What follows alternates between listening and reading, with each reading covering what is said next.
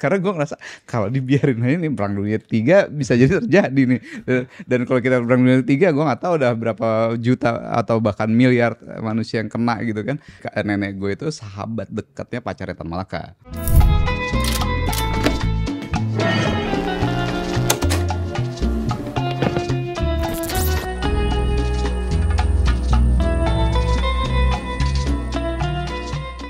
Halo para Malakan, bertemu lagi dengan saya Ferry Irwandi, salah satu founder Malaka Project.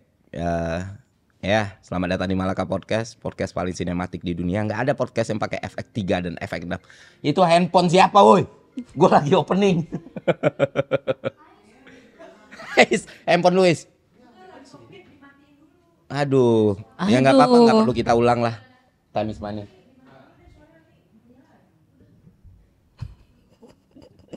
ya kan ya ngapain marah-marah itu? Oke. Udah is handphone lu. Oke. Ya eh, kali ini nggak ada Coki karena dia sibuk sekali. Nggak ada Kania juga. Sekarang gue ditemenin oleh salah satu produser yang paling kami banggakan di Malaka Project. Perkenalkan. Ya silakan perkenalkan diri anda Felicia. Nama saya Feli.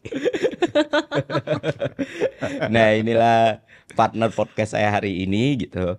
Ya saya podcaster pengganti diganti lagi sama produser. Jadi ya emang itulah podcast kita dan kali ini tamu kita adalah alasan kenapa tidak ada Kania di sini siapa lagi kalau bukan suaminya Kania Bang Sabda PS Tepuk tangan dong Olah, olah. banyak request Bang Sabda buat ngo- buat jadi bintang tamu ya karena linknya gampang ya Vel ya Iya, sangat mudah. sangat Di mudah iMessage Sana gampang jawab. di guanya susah. Gua, kamu kamu tuh loh. Jadi, karena dia suami Kania dan ya diurusin sama Feli juga jadi ya kita nyari bintang tamu yang cepat tepat dan banyak yang request jadi oke lah Bang Sabda langsung kita undang di sini apa kabar Bang Thank you loh udah diundang. Walaupun usahanya Kania udah dari berapa minggu yang lalu. jadi Kania sekarang di mana Bang? Lagi ribut sama tukang ojek. Depan nunggu di pagar. emang, emang gila ya kalau biasa aja orang ya ketika pasangannya lagi di cancel di dicecar sama orang ya dia bakal belain nih Benar. Nah, Bang Sabda ini enggak Enggak. Kan ada meme ya kan Apa? yang tangannya sabda kayak gini, terus diangkat sama kannya, terus dibanting. itu namanya suplek Suplex. itu lucu banget jadi ya menyenangkan sekali melihat mereka dan ya kayak bang Sabda bilang tadi kan ya lagi di depan nunggu di depan pagar ya. Tuh Chan lu. Lain kali jangan lihat handphone. Oke langsung aja. Feli monggo. Gimana Kak Sabda? Apa kabarnya? Kabar gua gua kabarnya lagi seru sih, lagi seru seru banget ya. Jadi eh, sejak Januari itu kan Zenius PT lama lah ya kita sebutnya PT lamanya lagi res- eh, apa berhenti beroperasi. Oke. Nah dari bangkrut situ, gitu eh, belum Belum. bangkrut Oh, belum bangkrut. Sabar. Gue Oke, dengarnya Zenius bangkrut karena Jerome gitu. Makanya pilih BA itu gua aja gua alumni Zenius malah Jerome. Terus Nah jadi jadi itu ber- berhenti beroperasi gitu kan. oh. Tapi kan itu basically ya karena waktu itu kan ada manajemen lah ya manajemen Genius tuh kan gue sempat nggak ikutan lah sebagai Iya. manajemen bisnisnya gue ikutan di educationnya aja.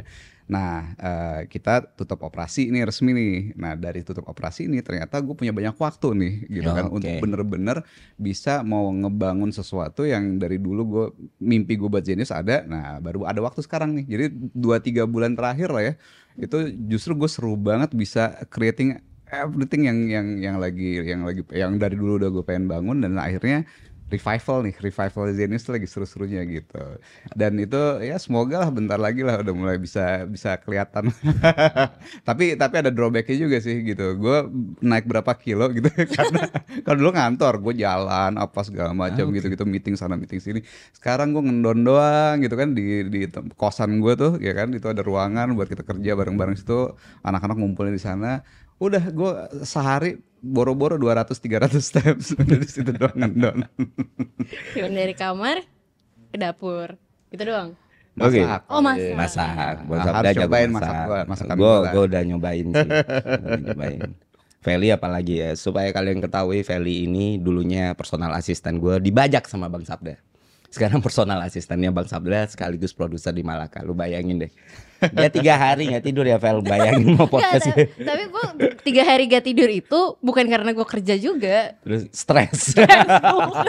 gue karena Ah, gue yang kasih konteks kali ini. Iya, iya. Gue yang kenalin. Jadi kan Ferry ini alumni Zenius ya kan. Iya. Feli juga alumni Zenius gitu. Nah biasanya gue kerja sama alumni alumni Zenius itu gampang gitu loh. Dan tipikal tipikal gue kan emang demen juga nih. Ini Feli kan wah masih muda gitu kan segala macam untuk ayo udahlah maju udah ikutan gini gini gini kan. Karena gue suka nih kalau pertanyaan dari anak-anak muda langsung anak muda yang nanya gitu kan. Walaupun kadang-kadang kadang-kadang pertanyaannya suka ada kayak dulu-dulu dikit nggak apa-apa gitu loh. Bisa jadi mewakili kalau ada pertanyaan yang orang punya biasanya tuh gitu. Gue pengalaman jadi guru.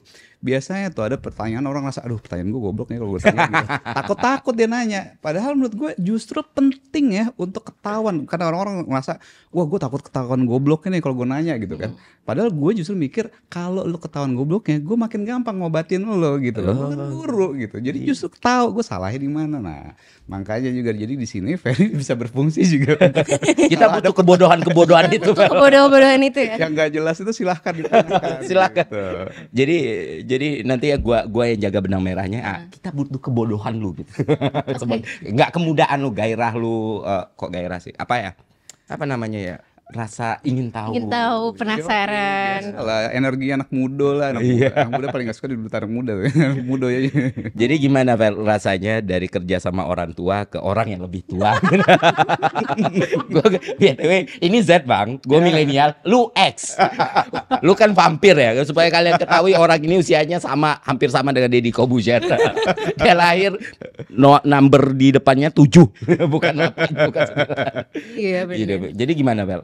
Ya rasanya sih nggak jauh beda ya. Nggak jauh beda apaan, beda banget tau. Nggak jauh beda in the sense of berkaryanya, punya mimpinya gitu. Hmm. Tapi kalau misalkan gaya bekerja tentu beda. Yang ini agak-agak metal, rock and roll. Yang ini ya agak lebih rigid gitu. Oke, Jadi lu ngerasain kerja dengan generasi yang berbeda. Betul. Gitu. Oke. Itu kebapaan. Tuhan dan gaul. Emang gua enggak. Lo, lu udah lah, lu terima faktanya kalau lu sekarang udah jadi bapak-bapak anak kedua udah. Iya. iya. That's Iya. Gua anaknya dua ya. Iya. Oke bang, gue mau ngomong soal Zenius dulu sih. Oke, Karena orang pasti penasaran kan dengan semua yang terjadi tentang Zenius dulu. Ya, Gua ya. itu jujur adalah berita yang mengejutkan karena gue sendiri kayak lu bilang tadi, gue alumni Zenius, gue bangga, gue Hmm. pernah karena gue nggak mau bimbel waktu itu, gue nggak mau bimbel, gue mau fokus sama karir Dota gue, cuman dikenalin teman sama Zenius 2009, ya hasilnya UI masuk, Unan masuk, dotanya gimana masih jago gue, masih jago gue. itu Sip, udah cakep. cakep gue. Nah, itu kan lu dan kadang tuh ketika Zenius dibilang startup gue agak bingung ya. Ini nih, nih perusahaan udah lama nih Iya. sebenarnya apanya yang startup ya. Definisi startup itu apa dan lain sebagainya. Terus tiba-tiba tahun ini kolaps. Nah, dibilang kolaps, Hmm. dianggap bubar dan lain sebagainya dan banyak testimoni. Eh, tadi kan lu sempat nyinggung sedikit sih. Bisa ngejelasin nggak bang? Dan menurut gue ini bakal bakal jadi penting banget karena orang kan bakal ngelihat ini bukan cuma soal pendidikan, bukan cuma soal bimbel, tapi bagaimana ekonomi bekerja, bagaimana proses bisnis bekerja, bagaimana company itu settle atau nggak settle atau drop, bangkit lagi, rise dan apa itu itu juga bikin gue penasaran karena sejak gue dengar berita itu gue nggak ketemu Bang Sabda. Gue ada beberapa urusan tapi sejak mau WA pun gue mau WA nih Fel. Urut berduka ya. Jangan-jangan nih orang nggak berduka. Kan gue bingung ya. Jadi bisa bisa jelasin nggak Bang gimana? Iya. eh by the way, Zenius tuh sebenarnya startup gue yang ketujuh. Kalau hitungan startup dulu ya. gue yang Oh. ketujuh. Jadi gue gue tuh bangun tidur itu kan jam 12 siang ya. Iya. Jadi gue nggak bisa berkarir berprofesional seperti orang lainnya pada umumnya nggak bisa kerja nih. Jadi terpaksa harus ini terpaksa ya Hmm. harus berusaha gitu kan. Nah gue bikin dari awal tuh startup startup tek tek tek tek tek tek tahun 2004 jadilah Zenius. Nah ngerunning Zenius itu sampai dengan tahun 2019 in general profitable. Jadi memang Iya. udah sustainable business gara-gara sustainable business. Tapi memang gue ngelihat eh, apa bisnis ya Zenius kan terkenal dengan Zenius Netnya lah ya online dan sebagainya. Anak-anak langsung daftar di situ. Gue ngelihat bahwa eh, untuk punya impact jauh lebih gede lagi gitu ya. Eh, yang impactnya benar-benar seluruh kalau bisa ya mayoritas lah pelajar Indonesia dan sebagainya sebagainya itu ngerasain itu kita butuh cara yang beda gitu. Cara yang beda dalam artian eh ini education tuh market yang beda lah nanti gue ceritain dinamika bedanya di mana. Nah, cara yang beda gue fundraise ya kan. Gue fundraise nih, gue fundraise untuk dapet investor, dapet investor. Tapi sebelumnya bootstrap, sebelumnya pure dari Total. profitable. Iya, Oh, gua paling paling paling enggak gue ngelon eh, apa namanya gesek apa gestun istilahnya gestun, gestun gesek kartu kredit dapat cash jadi modal gitu. Oh. Kayak Bootstrap gitu. itu apa ya? Ah, bootstrap itu kalau lo modal kayak modal hampir nol lah nggak ada investor gitu. Jadi lu jalan running sendiri by profit, by Nah, mekanisme gara-gara bisnis profit, lu. Baru jadi punya ah, capital profit itu kan. bisa jadi jadi Capital. dari profit itu jadi kapital Makanya balik. Zenius ini unik karena mereka udah bisa profitable, udah bisa jalan sendiri, malah fundraising kan. Apa sih pikiran orang ini gitu.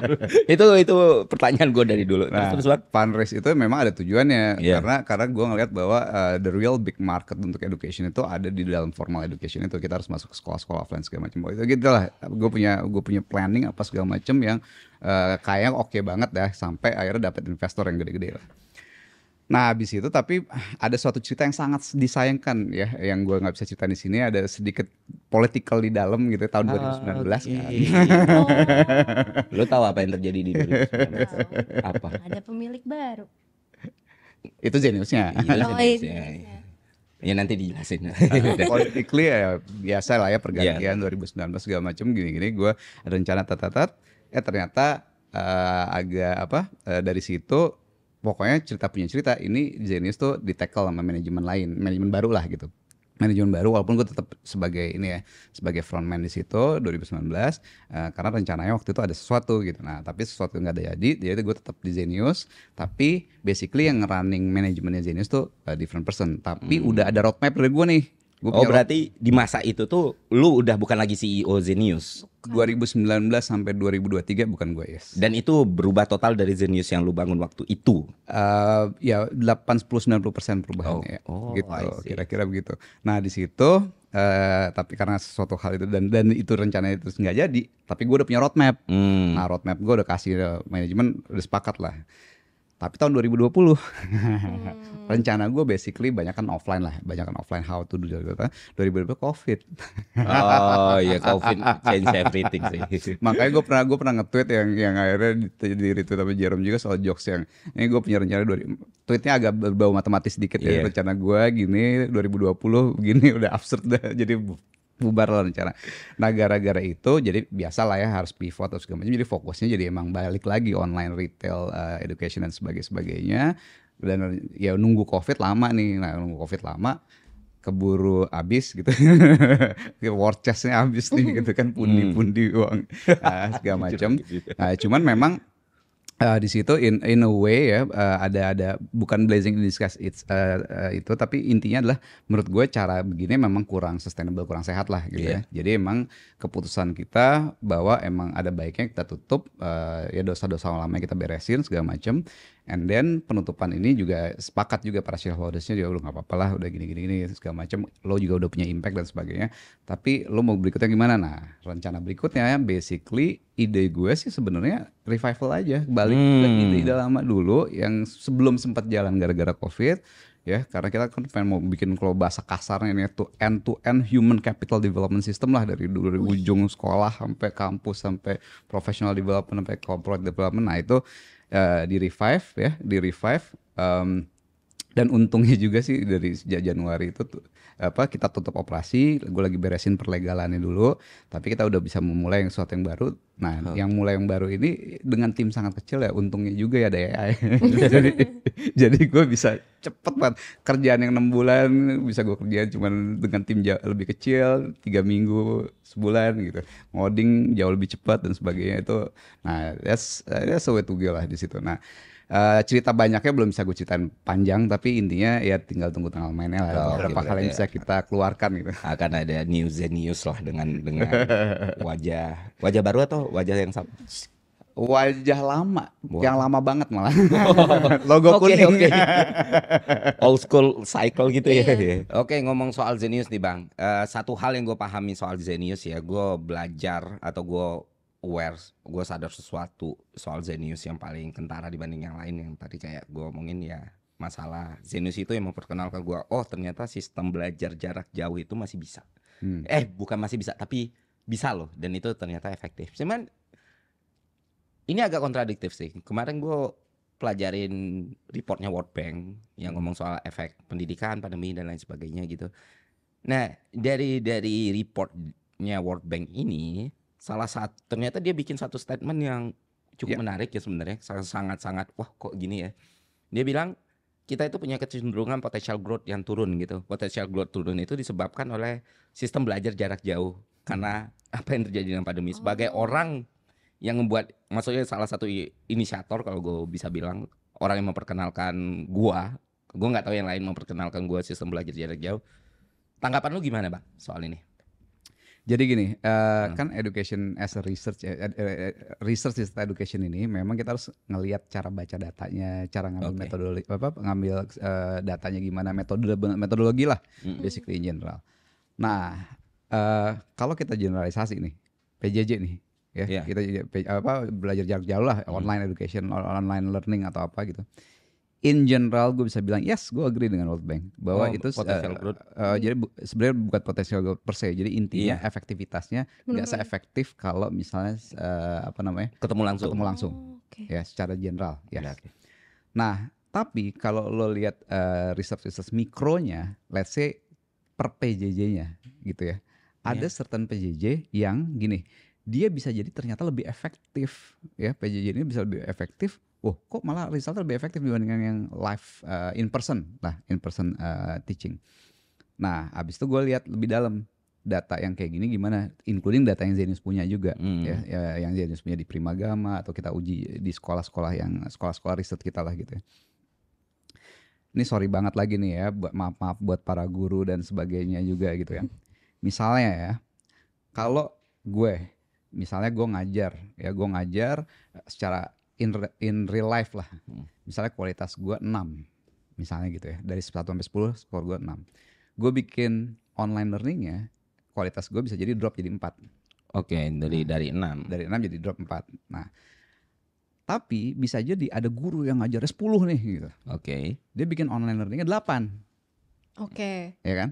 Nah, kalau murid gua yang in real life biasa gua ajarin skornya, ya gue nya skornya 6, dia belajar dari tuh guru, bisa jadi kan nilainya jadi 8, maksudnya kebayang kan? Iya, Iya, iya. iya. Jadi kalau kita lihat mikronya, ya memang ada yang nggak works dan ada yang works. Yang works itu kalau memang pengajaran online ya bisa lebih efektif dibandingkan real life person eh, teachernya dia. Itu, itu yang gue lihat baca data. Oh oke. Eh, kalau gurunya udah bagus, ya bisa jadi nggak perlu. Yang dibutuhkan pas di rumahnya untuk belajar mandirinya, Oke. gitu ya.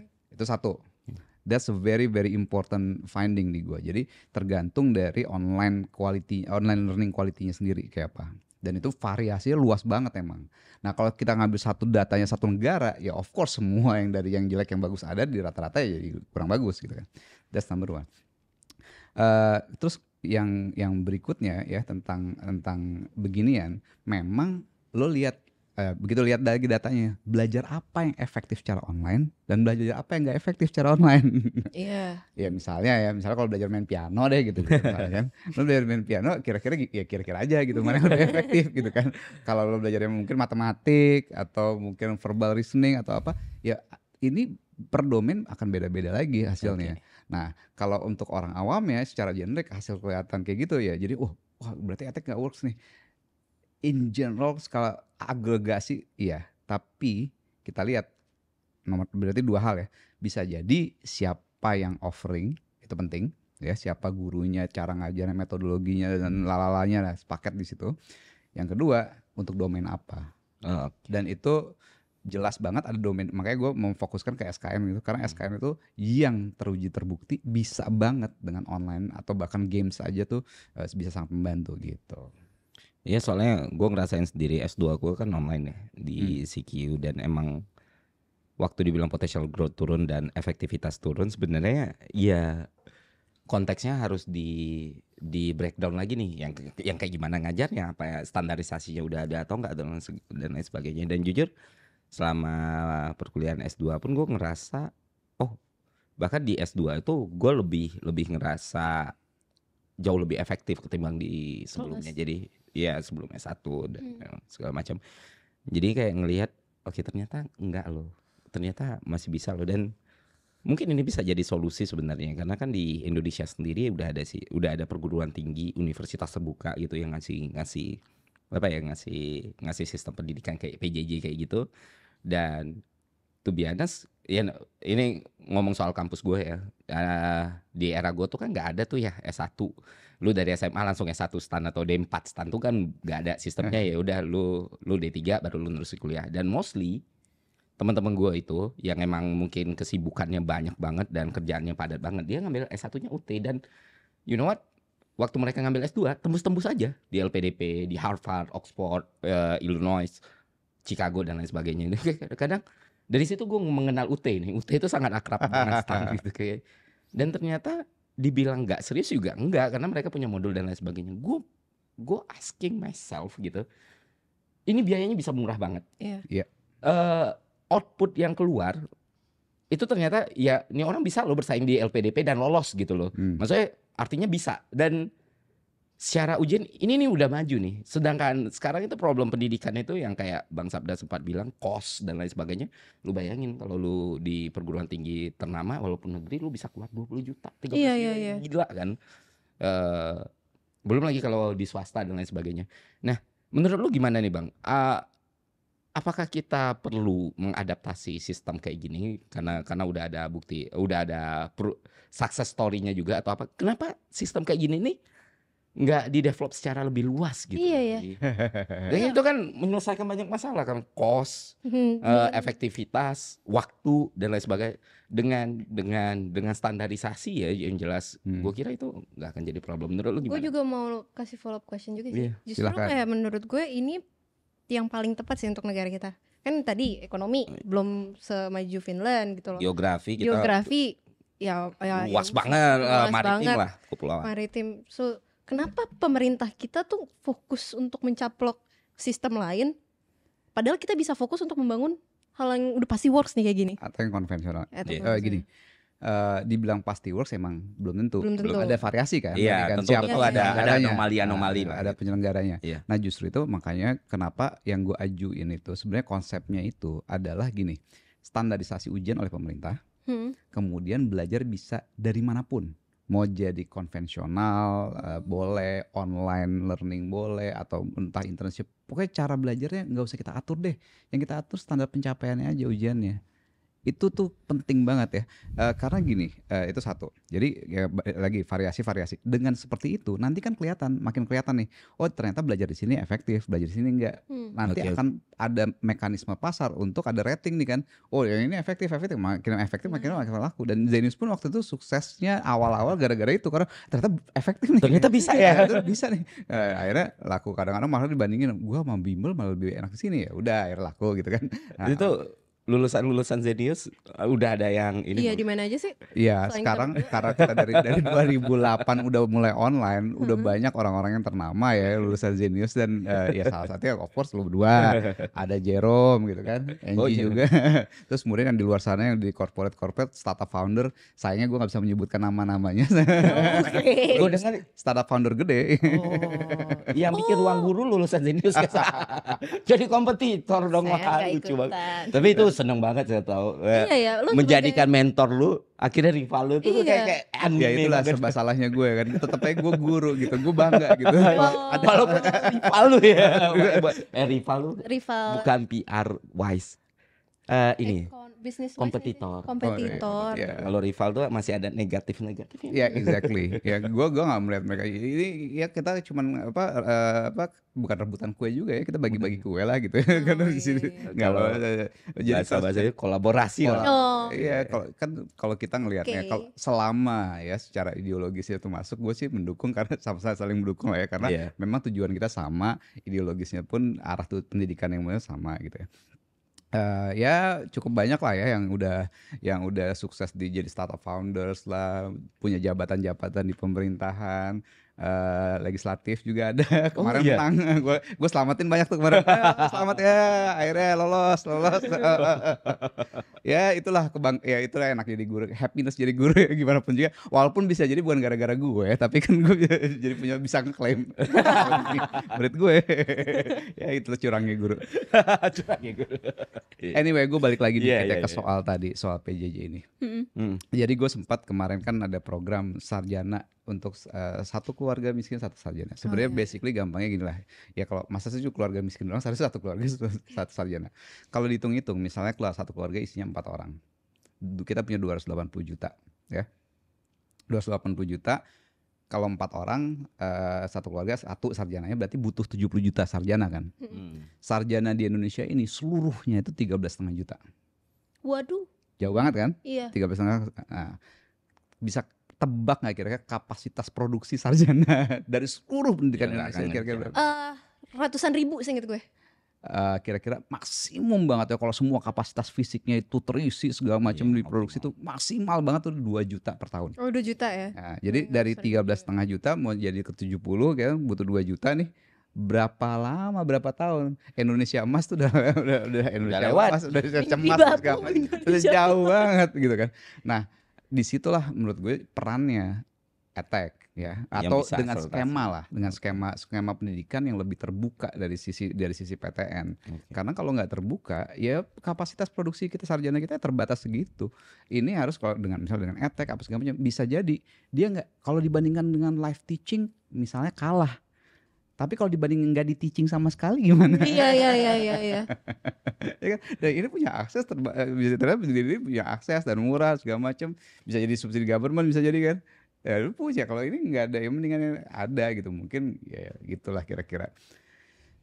Hitungan ekonomisnya kira-kira begitu. Dan itu ya lagi-lagi yang gue bilang it's cost effective ya. Mungkin idealnya kalau lu diajarin sama dosen bagus banget in real life tuh ya tadi 10 lewat versi online-nya mungkin cuma 8 Hmm. tapi at least lu punya akses terhadap dia Iya. yang kayak gini Mending 8 daripada 2. Iya, dan eh, gini, misalnya 10 untuk 10 cuma bisa mencakup 10 orang, tapi 8 bisa mencakup 1000 orang. Iya. Itu 8 da- juta da- gitu kan iya, gak ada batasan iya. kan exactly Dengan dengan balik lagi standarisasi yang tepat ya. Iya, itu sih yang penting. kunci yes Tadi, tadi lu bisik-bisik soal ya sekte-sekte soal apa gitu. Gue nggak enak deh nyanyi. Sekte apa? Udah lah Iya, tanya aja yang nggak itu, apa-apa gosip-gosip gitu ya katanya ada cult di sini. Iya, jadi Kalau gue eh, nanya nanti gue di cancel gitu. Iya, pokoknya adalah kan ya. Ini gue denger nih kak, hmm. gue gak tahu siapa lah orang di luar, Hmm. bukan gue, bukan Kak Ferry. Gue sih, gue Iya, mau Zenius hancur. ya ada orang ini nih yang kayaknya pernah ya di Zenius. Hmm. Nah terus dia tuh suka bilang nih soal pendidikan. Pendidikan itu baru bisa maju kalau misalkan ekonominya maju. kayak bukan itu deh maksudnya yang itu gosip-gosip you know Ini anak mudanya terlalu Mos. pinter kayaknya. Jadi kayak Iya, lo emang kayak gitu ya di kantor lo ya? ya, emang emang ada ada Ya, di- ada ada ya apa? ya udah dibandingkan kalau kalian nggak berani ngomong gua aja ngomong Iya iya. kan gosip ada cult ya. Ada. Zenius tuh identik dengan cult kemudian ateis, Iya. kemudian ada diskriminasi terhadap mereka yang beragama lah, lah, kayak gitu. Nah, gue gue cerita aja bahwa gini, sebenarnya kan gini, Zenius tuh misinya tuh mau mencerdaskan, mencerahkan dan mengasihkan Indonesia. Jadi mencerdas, cerdas, cerah, asik. Oh, Dengan jadi ateis. CCA. Terus salah gue gue gatel gue. Nah, sebenarnya waktu gue mendirikan Zenius itu tahun 2004, ya misi kita CCA ini cerdas itu basically logika. Oke. Ya. Cerah itu basically science dan sebagainya. Kalau ini wak- wakilnya materialisme. Asik itu kemampuan kita berdialektika dengan diri sendiri dengan orang lain. Ya, dialektika. Jadi basically kan gue dari sejak kuliah kan gue Madi studinya madi lokman banget. The real mandi lokman Madi ya. Lokman. gue bener gue gue tuh biasa ya nih nih cerita sedikit Ah, ya. iya. jadi jadi jadi nenek gue itu sahabat dekatnya pacarnya Tan Malaka Oke. nah jadinya gue belajar Tan Malaka tuh bukan cuman ideologinya ilmu ilmu dan sebagainya tapi juga cerita-cerita pribadinya ada Langsung dari narasumbernya gue ya. ngerasa somehow kan dia nggak punya ini kan nggak punya turunan genetis lah. Iya. Nah, gue ngerasa dengan bangun Zenius itu gue mau membangun uh, Madilock versi modern gitu ya di zaman modern. Yang yang apa ya jadi kayak cucu memetik lah gitu. Ya, oke. cucu memetisnya Tan Malaka lah gue merasanya begitu. So geran aja sih tapi ini nggak apa-apa gitu kan. Meneruskan. Karena Tan Malaka kan bilang kan bahwa eh nih buku Mandilok nih ini pola pikir seluruh rakyat Indonesia harus harus kayak gini gitu. Nah gue pengen itu tersampaikan terjadi dengan era internet gitu. Itulah Zenio sebenarnya. Nah dengan itu berarti kalau gitu sta- ada standar dong. Lu mau menceceakan Indonesia ya kan? Berarti kalau gitu standar manusia di Zenio harus CCA dong ya kan? Jadi gue akan eh, membuat standar-standar CCA itu. Dan itu waktu gue awal banget bangun dari 2004 2009 susah banget nyarinya gitu. Seleksi untuk logika yang bener sainsnya bagus apa segala dan asiknya juga komunikasi yang efektif dan sebagainya. Susah banget Nah susah banget sampai akhirnya gue bikin sistem ada komunitas komunitas segala macam dari komunitas komunitas bisa direkrut nih ngerekrut ngerekrut orang dan sebagainya. Nah itu udah cukup sukses. Nah tapi begitu 2019 ya kan kita udah ngasih standar nih human resources atau orang-orang yang masuk sini standarnya gini. Nah begitu 2019 perubahan manajemen, nah ini kan belum ngerti nih ya. ya. Ini sebenarnya tim manajemen ini orang-orang pinter, orang-orang pinter yang sukses-sukses di startup-startup lain. Cuman memang beda education itu jauh beda ternyata. Jadi apa yang gue pelajarin emang ternyata di education tuh totally different beast lah gitu. Dan orang yang menjalankannya pun harus berbeda. Nah standar orang berbeda ini kayak gitu. Begitu perekrutan segala macam ini kan nggak kontrol dong culture-nya apa segala macam model best Iya, practice-nya nggak kontrol dan sebagainya sebagainya. Akhirnya nggak terbiasa dengan dengan ya framework CCA tadi dan belum itu segala macam akhirnya memang banyak kelas tapi gue mendiskriminasi orang ya mendiskriminasi ini itu berdasarkan CCA-nya diskriminasi itu penting loh by the way Berarti lu benar-benar Loh, mendiskriminasi. sekarang gini lo masa Oke, oke, oke, orang menarik. oh, ya pasti diskriminasi yang sehat itu penting dong oh yang Oh, masuk oh, sini oh, dapat iya.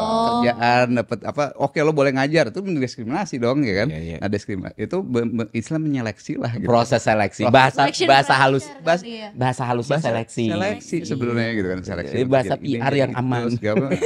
kalau diskriminasi itu pasti 100% 120% negatif nah itu berdasarkan kececaannya Hmm. bukan berdasarkan apa pun ada nggak yang ateis akhirnya terpaksa gokat gara-gara eh, nggak cece ada yang beragama yang gue masuk ada gitu kan misalnya Iya.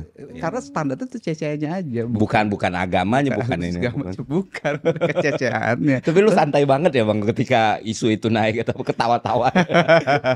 lah ya mas eh, gimana ya karena ya gue cukup ter, bukan cukup terbiasa ya gue cukup ngerti orang bahwa itu wajar akan menjadi sesuatu yang resiko ya resiko bahwa ketika gue eh, dulu kan Zenius tuh sampai 2019 kalau nggak salah 60 pegawai Oke. at certain point kita bisa sampai 1000 dan butuh cepat merekrut banyak orang jadinya Oh iya iya. jadi jadi apa ya beda-beda gue bukan berarti bilang bahwa orang itu bego atau gimana bukan cuman berbeda dengan culture dengan ini segala macamnya akhirnya pas kerja bareng mungkin ada kelas mungkin ada ini segala macam kerasa terdiskriminasi gitu. ya tapi ya jujur aja ya, kalau misalnya beberapa hal yang pengetahuan nih yang memang di dalam dunia akademis ini kadang suka nggak umum fair gitu Oh, orang iya. tahu begitu Iya, iya, iya, iya. Gue gara-gara nah masalahnya kan ada hal-hal kadang-kadang ya misalnya yang kelihatan secara PR nih. Ada guru nih eh, audio apa apa casting lah Eh, casting sama gue sejam gitu ngajar Hmm. depan gue nah cewek kebetulan kalau cewek kan kelihatan nih berjilbab misalnya. Ya dia kelihatan cewek kelihatan segala macam orang luar ya cuman wah ini cewek masuk berjilbab ngajar di depan gue keluar keluar ternyata gue nggak terima untuk gue kasih kesempatan dia untuk ngajar di mana. Kelihatannya cuman itu gitu kan kadang-kadang masalahnya. Padahal di dalamnya ya kalau gua buka gitu apa yang pengetahuannya apa segala macam masalahnya ya itu sorry to say tapi memang ya itu tadi gue bilang ada pengetahuan-pengetahuan akademis yang yang bener yang mana itu kadang-kadang nggak umum dan bahkan diajaran yang diajarin yang salahnya di sekolah-sekolah kita that's something sometimes the problem is kayak gitu. So uh, dari situlah sumber-sumber terjadinya ini jadi Iya. ya gitu. That's that's what happened lah kira-kira kalau kalau spill dalam di dalam. Ya itu kan waktu itu rame banget di forum startup ya. Kayak itu lucu sih. Momen itu lucu. Pertama hari itu Zenius tuh lagi diapresiasi banyak orang banget. Iya, Ya, orang include lagi- me lah Iya, iya, karena aku juga, sebagai juga. sebagai sebagai orang yang ngerasain manfaatnya dan ya gue hari pertama ketemu Bang Sabda itu gugup gue ini orang guru gue loh SMA gue kayak gitu. Mungkin kalau nggak ada dia gue nggak bisa nih tembus-tembus universitas ini. Mungkin nggak bisa kuliah di stan. Mungkin bisa sih tapi lebih lebih lebih gede lah chance ya gitu. Terus Ya udah kan semua semua romantis nih ketika Zenius eh, bikin pengumuman adalah hari besok. Eh Dar. wakal segala macam. Yang gue ingat banget adalah bapak ini katanya orang berjilbab dia nyetem gitar. Iya, iya, itu. Lucu banget itu. Jadi gimana itu bagi Itu gua hari itu pas ada berita itu gue langsung konsep ya. Emang bener kak? Nggak, kalau itu itu itu bener banget. Eh, Gini, gini, tapi ada konteks benernya. Iya. Gue mau syuting, syuting gue emang main gitar. Iya. Ya kan, syuting mau main gitar, tapi gue belum technical briefing nih. Nah, gue di technical briefing lah. Selama technical briefing itu, gue kan bakal syutingnya bakal main gitar anyway. Gitar gue baru ganti senar aja itu belum di stem. gue sambil loh karena buru-buru habis ya, bayang lah mau syuting. Tapi tapi tapi ya gue ngerti ya kadang-kadang gue ngerti bahwa uh, that that might offense people seakan-akan gue nggak perhatiin gitu kan. Tapi ini kan gara-gara kepepet maaf maaf gitu jadi gue harus sambil sambil. itu, itu yang bikin gue ketawa adalah momen pertama gue ketemu Bang Sabda dia juga lagi nyetem gitar ini orang nyetem gitar 24 jam cuy jadi kayak ini jadi masalah gue out of nowhere di antara sekian banyak gitu ini yang jadi masalah terus gue mau ngomong eh gue mau bilang enggak kok dia tuh emang dia emang kalau lagi seng- senggang dia pasti ngambil gitarnya terus main tak ngapain terus ngapain gue bela ya nggak ada untungnya juga gue kayak gitu kayak udah lah gue By the way gue mikir ambil main gitar soalnya. Jadi kalau gue mau nyari ide, nyari solve problem apa algoritma apa segala macam gue ambil.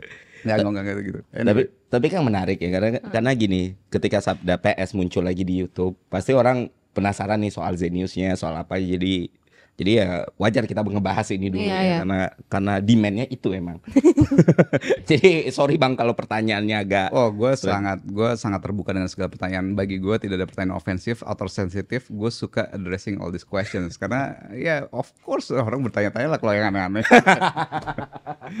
Tapi kak kalau lu lagi meeting sama Jokowi gitu possible nggak lu nyetem penasaran. eh jangan salah, beliau ini kan metalhead Oh, juga. Nanti gue master main Master of Puppets. Iya, Metallica. bukan Kita headbanging nggak poster ya bisa dia. jadi. Bosan, Dia nggak poster ya. Enggak. Oh, gua kan he- gua gua eh, gua bingung mau ngomong hal hater atau pro ngeri gua. Ya udah. Pokoknya gua rakyat dia lah sekarang. rakyat Pak Jokowi. Oke oke. Ah, yaudah soal Zeniusnya lah ya. Lu masih ada penasaran soal Zenius lagi nggak? Enggak sih, gue udah cukup paham soal Zenius kayak gimana Karena kan kebetulan saya juga bekerja dengan bapak ini ya Tapi yang gue pengen pertanyakan nih kak Kalau nih satu hal Apa sih yang salah sama pendidikan kita? Mungkin kita masuk ke Oh jadi udah masuk nih. Ke, ke pendidikan ini. pendidikannya kali ya Oke. Gimana menurut lo? Harus gue banyak? M- enggak, enggak enggak harus revisi. Jadi gue juga mau nanya hal yang sama sesuai brief. gue juga mau nanya sama soal soal masalah pendidikan karena yang gue tahu kan Sabda PS itu me- Sabda PS tuh P-nya pendidikan kan. Wah. Asik kan. Udah kayak sastra. Feli. Enggak enggak usah gue omongin lah ya. Ya. Jadi kan kita tahu Sabda PS ini orang yang sangat concern dengan pendidikan, dia bekerja di bidang pendidikan juga dan emang benar-benar waktu itu di tahun 2008 2009 Zenius itu kan benar-benar merevolusi bagaimana sistem Hmm, sistem orang belajar karena mungkin 2008 umur lu berapa, Pak? tujuh tahun Bang Sabda umurnya berapa 2008? Ayo dong, spill dong 17 ya. itu umur gua dong. Bohong. 17. Oke, eh, itu merev- supaya supaya teman-teman ketahui konteksnya karena waktu itu belum ada yang namanya PJJ, Iya. belajar dari jarak jauh dan lain sebagainya dan di zaman gue itu CD. Iya internet pun juga ya belum seumum itu kan Udah, tapi udah. enggak kecepatannya enggak Susah. Buat sekarang. video belum Buat- sanggup. Buat video belum sanggup. Jadi emang waktu itu 2009 ya, orang internet tuh mainnya forum, mailis segala macam, masih masih Yes. kayak gitu. Masih ka- kayak Kaskus itu baru up banget waktu itu.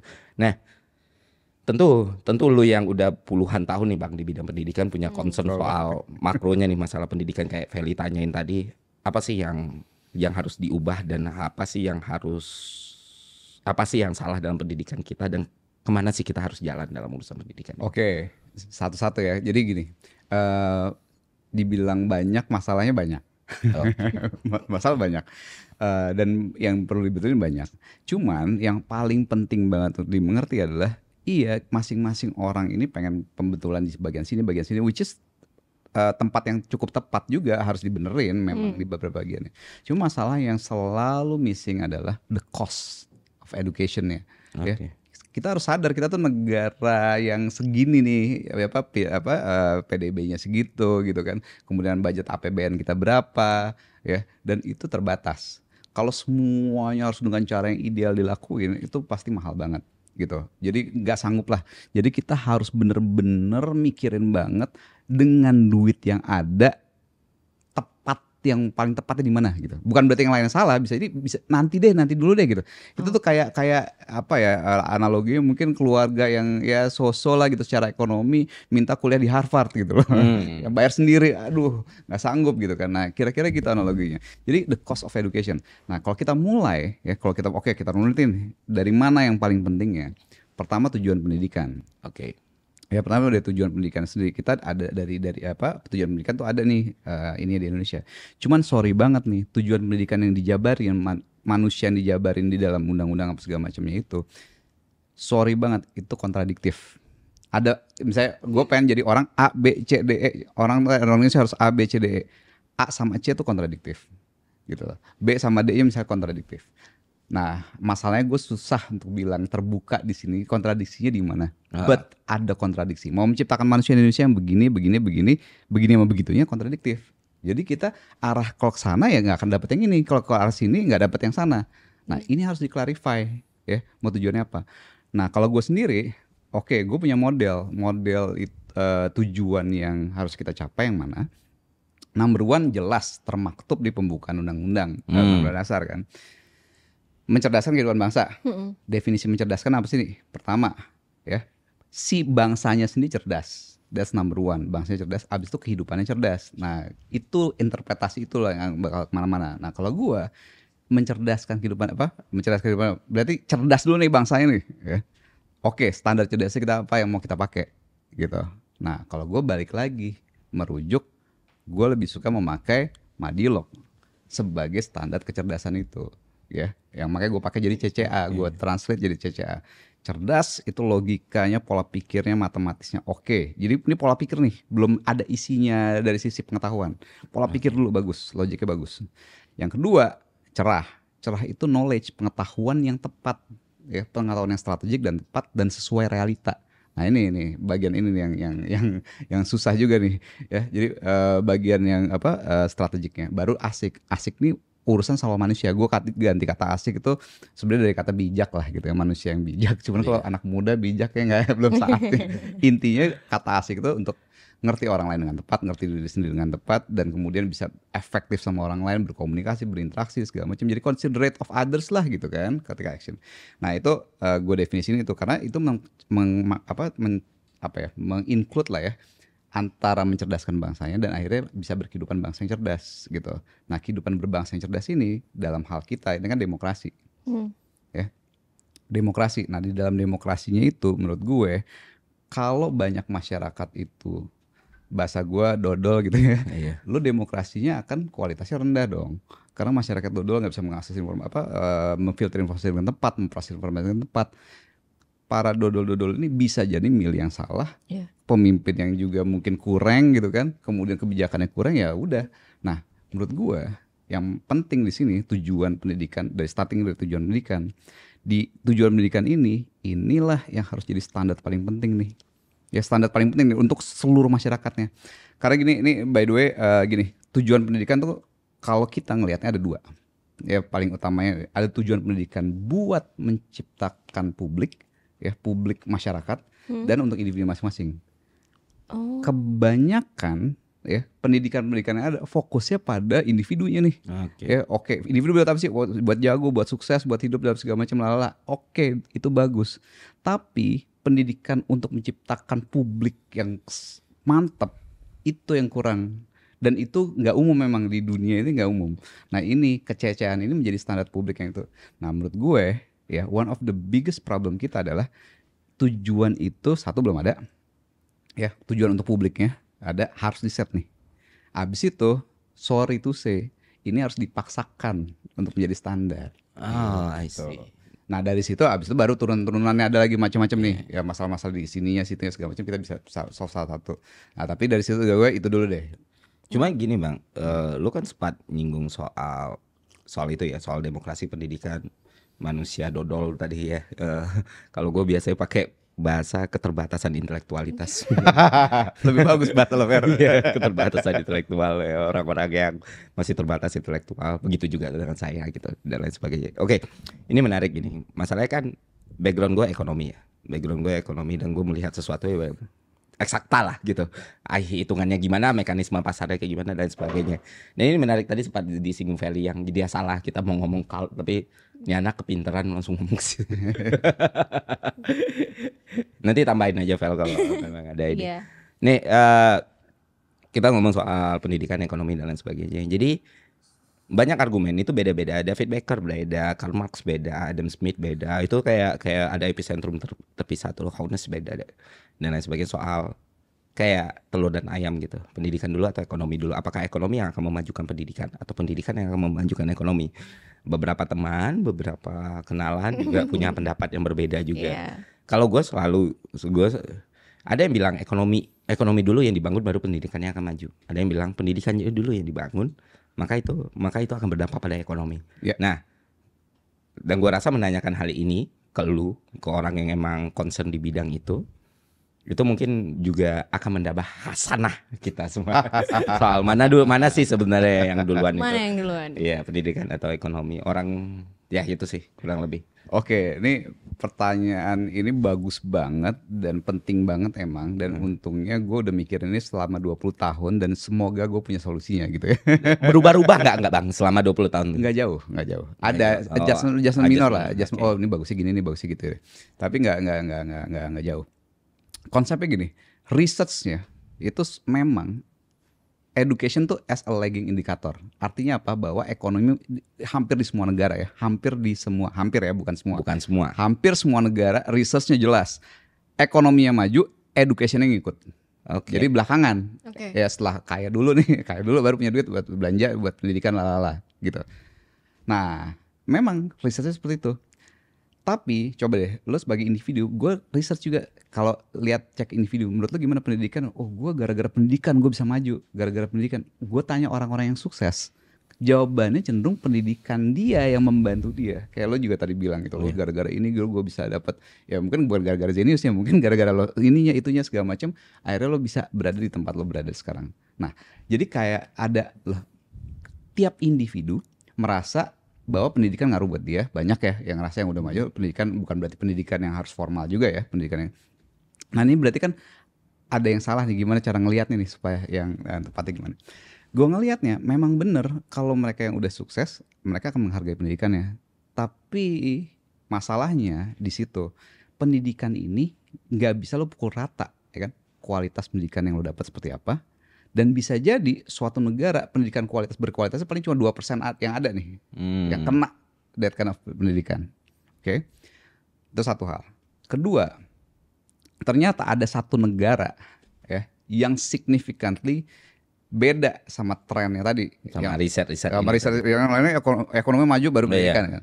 Nah, ada satu negara nih yang pendidikannya dulu yang udah maju. oke Ekonomi mas dari sejak tahun 2012 2012 gitu ya. Itu Vietnam. Hmm. Vietnam itu PISA skornya udah tinggi sejak awal dia ikut kalau nggak salah 2012 ya. Ekonominya masih di bawah kita dua per tiga per setengah GDP kita dulu Iya, per kapitanya. tapi dia ya PISA skornya nih nggak naik naik ya bukan nggak naik eh, inilah fluktuasi lah. Fluktuatif. fluktuatif di situ situlah tapi ekonominya terus terusan bentar lagi nyalip kita Hmm. gitu loh Vietnam. Dan kalau gara-gara Cina tutup nih kan bahasanya pabrik di Cina tutup para pindahnya ke mana? Pada pindahnya? Vietnam. Vietnam sekarang lagi banyak gitu. Karena mereka emang SDM-nya gila ya eh, gila. Dan nah berarti poin gua apa di sini? Berarti kalau gitu kita nggak bisa mengeneralisasi. Memang ini bukan science ini lebih ke bahasa gue engineering lah ya deliver the right kind of education yang kayak gimana? That's number one. Abis itu yang kedua bagaimana the right kind of education itu bisa diakses ke semuanya Hmm. yang tadi gue bilang ada orang yang dapat pendidikan yang bagus, ternyata karirnya jadi bagus karena pendidikan punya efek nih secara ekonomis buat mereka. Nah, menurut gue emang benar ada pendidikan bisa dampak kayak gitu. Nah, tinggal masalahnya bisa nggak pendidikan ini terakses oleh semua ya, bukan cuma semua pelajar tapi semua orang di Indonesia. Nah, jadi dua hal di situ gue lihat. The right kind of education-nya kayak gimana? Yang kedua, gimana caranya semua bisa mengakses that kind of education. Dan itu jadi dasar gua ya untuk berkarir eh, berkarir lah dengan ya jadi dengan Zenius. Jadi bukan kadang-kadang suka orang bilang, wah lu mah gara-gara mau punya Zenius jadi solusinya attack mulu, attack mulu. Bukan, gue ke attack in the first place karena gue belajar nih. Oh ternyata satu ya, relate kind of educationnya gini ya. Kalau gue uh, mirip lah Madilog kan basically dulu Tan Malaka juga di Vietnam juga gitu Iya. kan. Jadi jadi idola di sana gitu. Satu, oh PISA ya standarnya PISA agak mirip nih sama Madilog kan. Oke, itu jadi nih right kind of educationnya itu. Kedua, gimana cara membuat itu jadi rata dengan keterbatasan duit kita, Oke.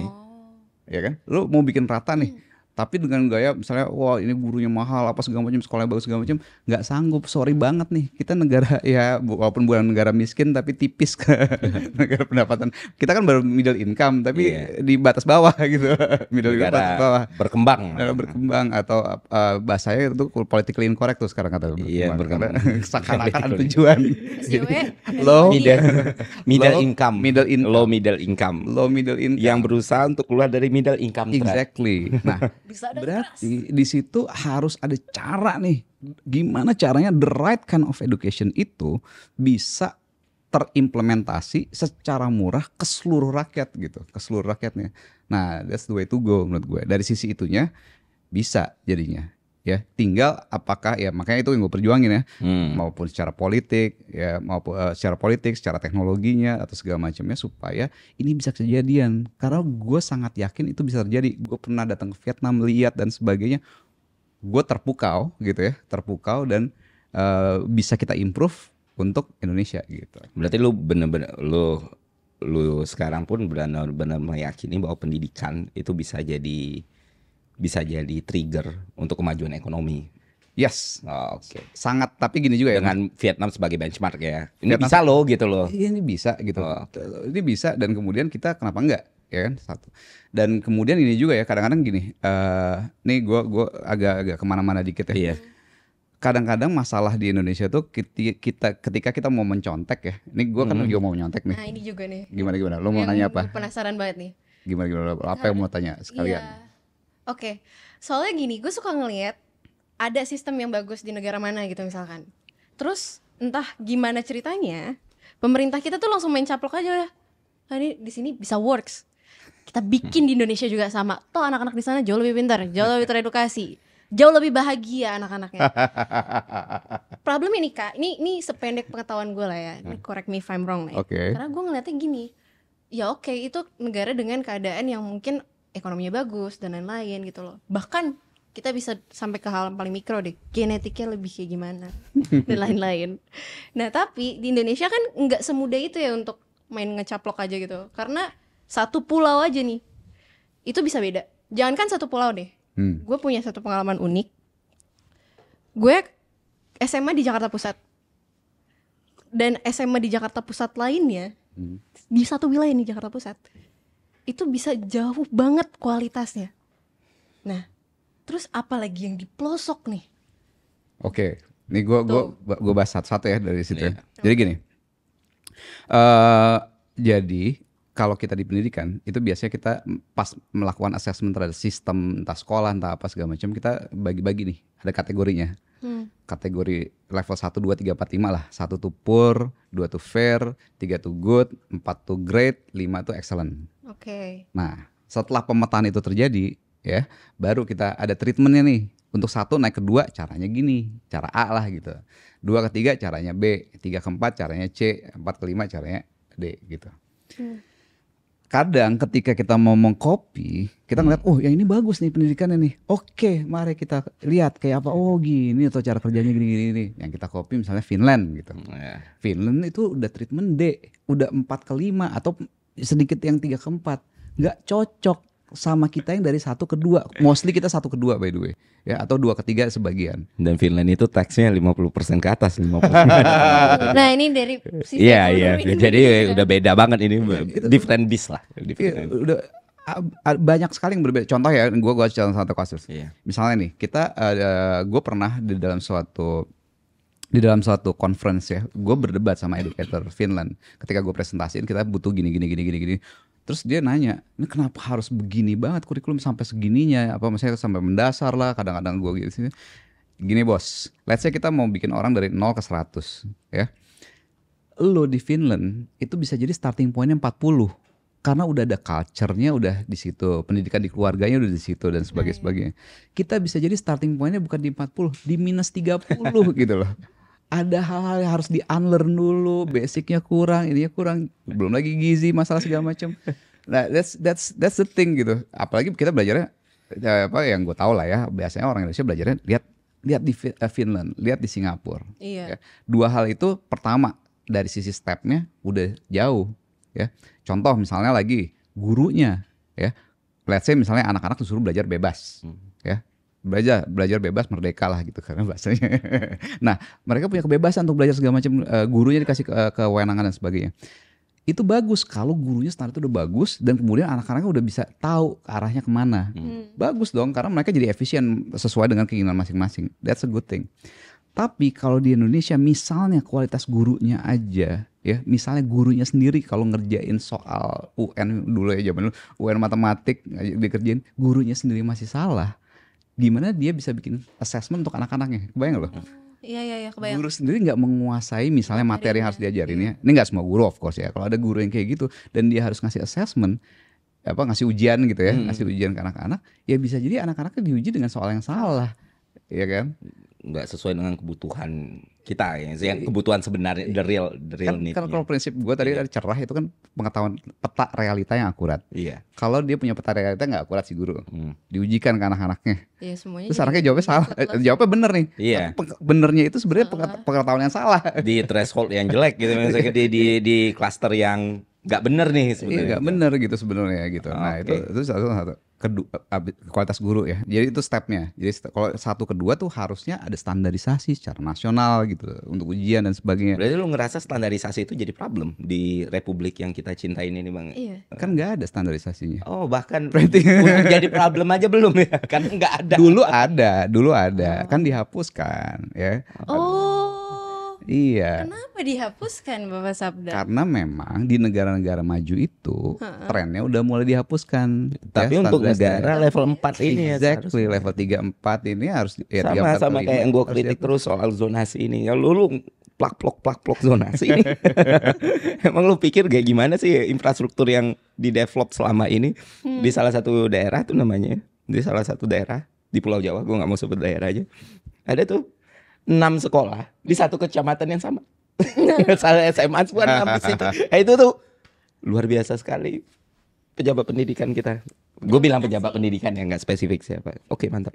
Terus bang terus kok. Nah, iya jadi itu terus saya satu dari guru. Ya Hmm. dari levelnya lah level kita di mana treatmentnya harus beda. Ya kalau lo emang eh, step by stepnya di mana ya harus Oh, beda. Itu satu. Yang kedua biaya lah of course. Kos cost of education ya. Hmm. ya lo bilang tadi film pajak 50% segala macam. Kita kita belum punya that kind of privilege gitu loh. Iya, gue belum bisa. Tax ratio kita Iya, masih kita negara ya pendapatan pas-pasan.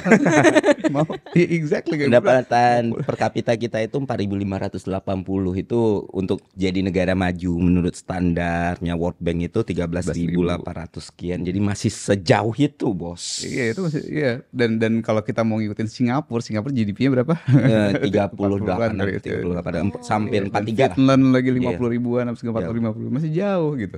That's the thing gitu. Jadi kita eh, apa kita harus apa ya eh, apa inovasi kita dalam education ini mesti memikirkan sisi cost. Dan dari sisi gue kebetulan gue punya background juga di informatika, of course salah satu yang harus nge-solve ini dengan teknologi yang bisa membuat ya misalnya nih kalau kita kan Indonesia tuh 3 juta guru gitu. Nah. susah nih untuk dia guru oke lah seribu guru paling bagus deh. Bik- bisa dibikin lomba yang paling bagus mana dibikin mereka available bisa diakses ke 60 juta siswa yang ada gitu kan. Dengan teknologi dengan cara personalisasi adaptive learning personalized learning dan sebagainya sehingga mereka bisa mendapatkan kualitas guru terbaik ke semua semua orang gitu. Nah itu that's the kind of innovation that we need. Karena kita kita negara ya gue bilang lagi negara nggak pas-pasan. Jadi caranya harus dipikirin nih bagian itunya nih gitu. Nggak bisa ideal-ideal yang dimimpi-mimpikan oleh Iya. seakan-akan Iya, gitu iya, iya. itu menarik sih menarik. Karena kan ya kebiasaan banyak banyak regulator kita eh, regulasi yang dibuat di Republik ini nggak R&D-nya aja udah lemah banget. Karena Oh, karena iya, mereka nggak ngelihat kayak gimana sih culture kita, society kita, penyebaran infrastrukturnya kayak gimana dan lain sebagainya dan ini nih sering kita temukan di masalah pendidikan ujung-ujungnya apa costnya jadi sangat mahal eh, penyebarannya nggak rata dan lain sebagainya padahal ada teknologi yang seharusnya jadi solusi atas jembatan atas itu Iya. dari lu sendiri bang semua masalah ini tadi tuh kalau kalau secara sistematis ya kalau lu harus breakdown apa sih yang bisa kita lakukan nih Hmm. buat memperbaiki the whole Oke. problem one by one step by step gitu Eh, pertama-tama gini, standardized test bagi gue tuh penting banget. Oke. Ya, standar kecerdasan tuh penting banget. Jadi supaya supaya gini, standar kecerdasan itu penting supaya kita punya dasar level kecerdasannya. Kita tahu lah IQ itu mungkin data yang kurang tepat atau gimana, tapi kira-kira IQ kita 78,5 misalnya. Iya. Ya kan? Nah, eh, isunya adalah banyak orang berpikir bahwa "Li, IQ itu udah segini udah gak bisa diapa-apain ini Iya. susah. Bisa emang bisa naik ya gitu. Nah gini, IQ, kalau gue pribadi, gue sering merasakan murid-murid gue dan gue pribadi juga bisa dilatih dan akhirnya bisa naik. Gue tes IQ kelas 4 SD itu 114, pas kuliah 160. Tapi long way tuh naik naik naik naik ya, gradually naik. Gue juga punya murid yang kayak gitu. serius bang lu graduate nih Gradual. gua, gua gua umur 8 tahun 145 nih Oh itu beda. terakhir itu 131 SMA kok turun ya kok setak nah ini dari 118 jadi 160 mana yang bener ini Nah gue berarti gua makin bodoh dong Bisa jadi. gue justru beruntung ya punya nyokap yang emang Oh. nyokap gue sangat-sangat pelajarin lah buku-buku Iya, iya, Piaget ini itu segala macam sehingga gue dilatih banget tuh dari dari SD gue dilatih untuk gini gitu segala macam akhirnya 114 terus naik jadi 123 130 136 145 154 160 gue berarti bu- bukan bukan soal eh, bukan soal genetik doang ya itu Nah. bisa bisa kita train ya? Eh, kalau gue ngeliatnya seperti itu. Dan gue Oke, punya oke, murid menarik juga. nih, ya, menarik, menarik. yang yang paling sering gue ceritain karena gue bangga banget sama dia IQ 85 Abis itu setahun gue geber ningkatin ini segala macam akhirnya diterima di informatika ITB oh. Dan itu nggak cuma satu dua kasus ya ada banyak juga yang kasus kayak gitu.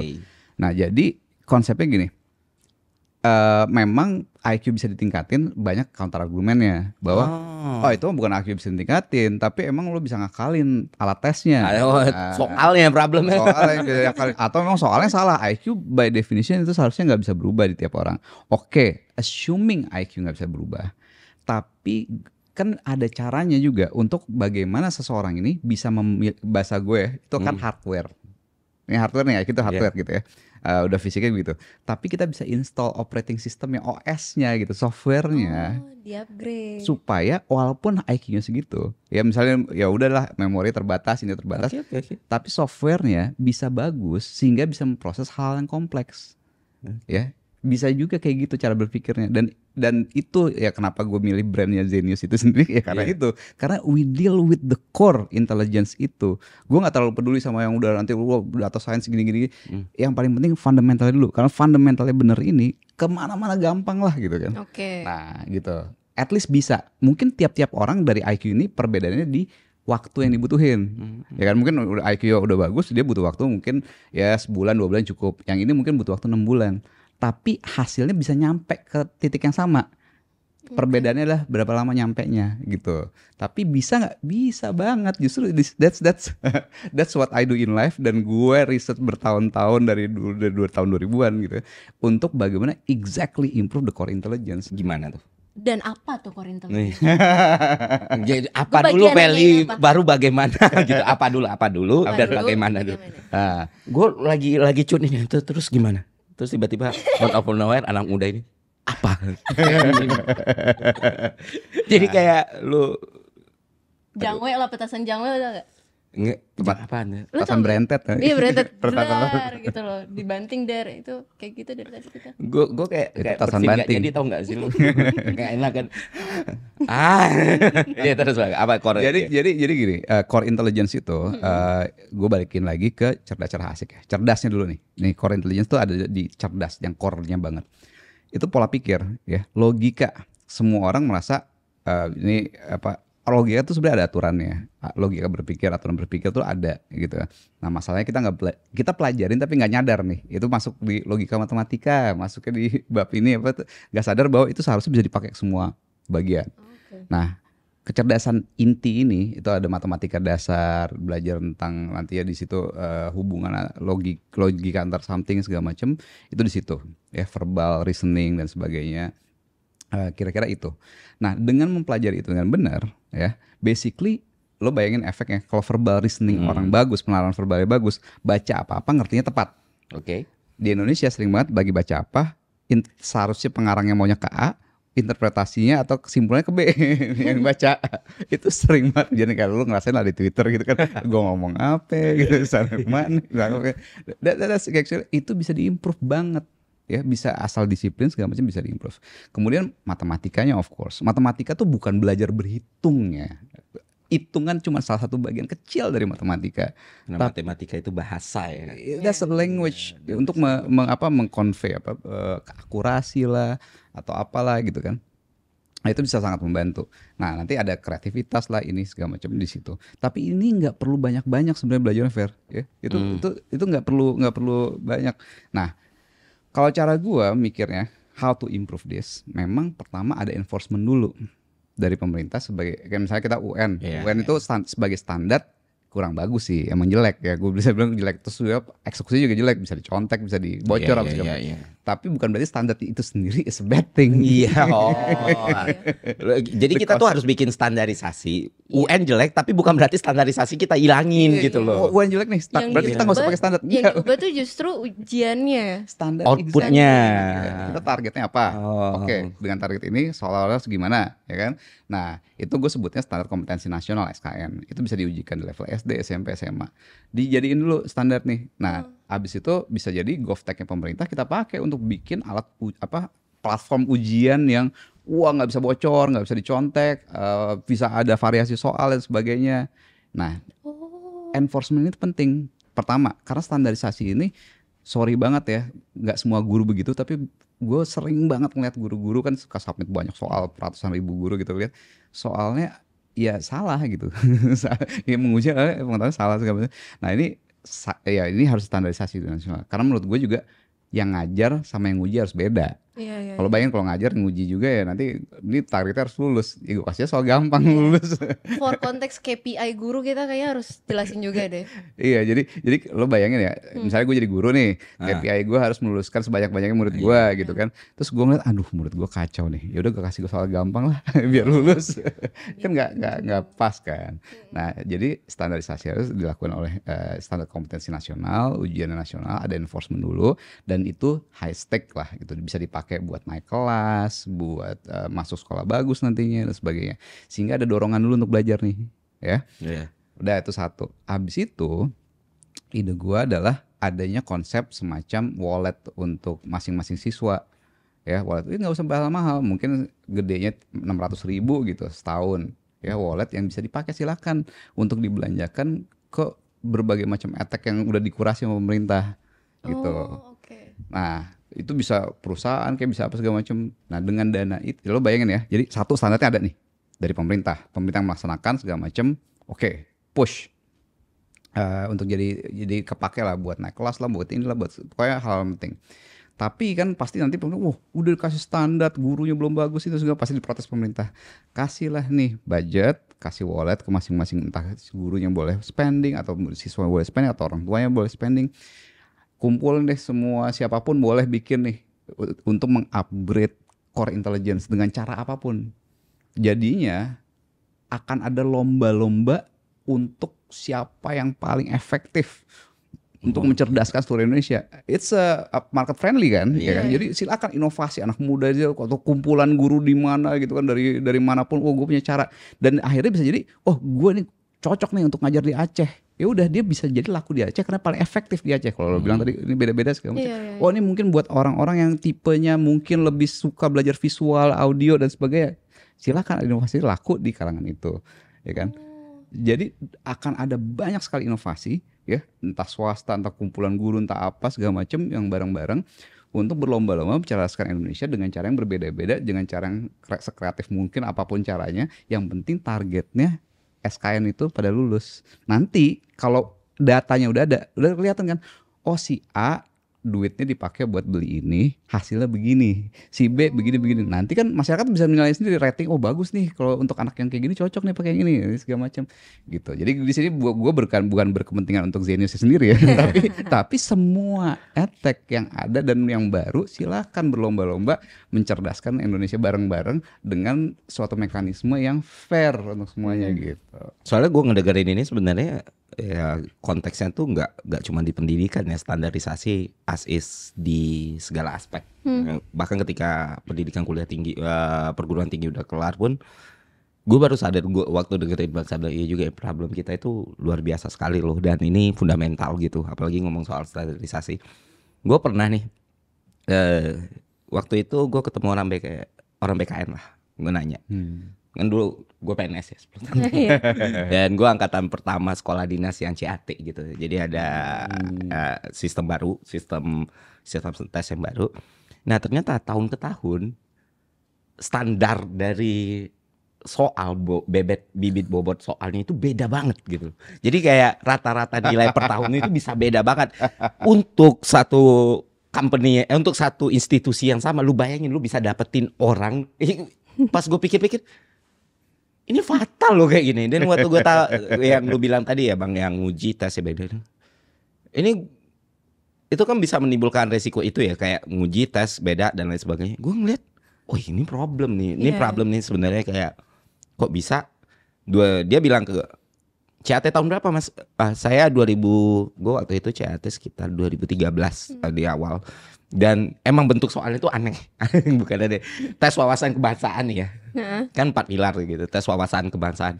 Yang ditanya waktu itu bagaimana peran Vietcong apa hubungannya peran Vietcong terus pertanyaan selanjutnya politik air panas. Politik air panas ya Soviet gitu.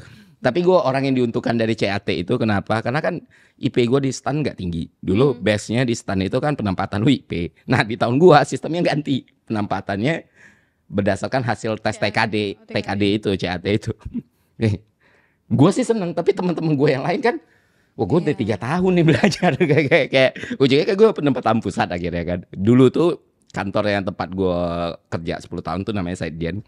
Nah Saidjen itu dulu cuma ditempati para cum lauders nih. oh. Nah tahun Bang. yang nentuin instansi itu Heeh. hasil tes CAT itu. Jadi ada orang yang IP 3,7an itu ya ini ke daerah-daerah terluar karena nilai TKD-nya nggak bagus gitu. IPK lo berapa deh BTW? IPK terakhir gue berapa ya? Nggak sampai tiga kok. Berapa Tapi gini, menarik, menarik yo. Ngomong IP itu menarik, Bel. Enggak, enggak. Jadi berarti ya lo lo berhasil karena tes CAT. Iya, gue diuntungkan tes CAT itu karena di stan lu kan 275 DO nih ya kan yang lu se- satu semester tuh bisa kehilangan puluhan dan bahkan ratusan temen lu gitu karena mereka bener-bener no mercy. Nggak ada. Lu nggak sampai pak pak pak. Nah gua termasuk mahasiswa yang struggle banget.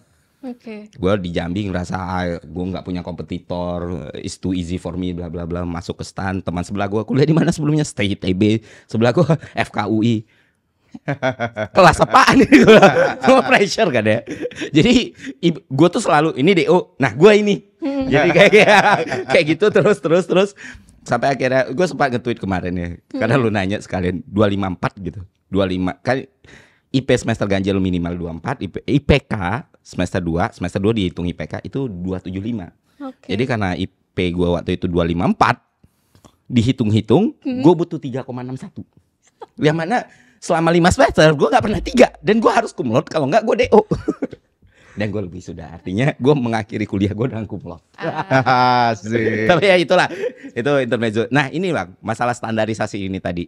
Karena itu kerasa banget di tahun yang di tes yang sama institusi yang sama bahkan mungkin di company yang sama dengan dengan hal yang tidak terkontrol kayak gini ada. Dan itu diakui institusinya sendiri kalau ada gap ada perbedaan. Eh, istri gue kan setahun di bawah gue dan ternyata kualitas soalnya beda sangat berbeda itu baru setahun dan dia bahkan bisa spesifik ngomong soal tersusah tahun sekian kan gila sebenarnya Oke. gimana menurut lu bang sebagai seorang edukator nih ya dan Iya. orang yang Jadi memang bikin soal tuh hal tersulit di dalam pendidikan. Ya, bikin soal tuh bener-bener soal tersulit karena kita pertimbangan tuh banyak.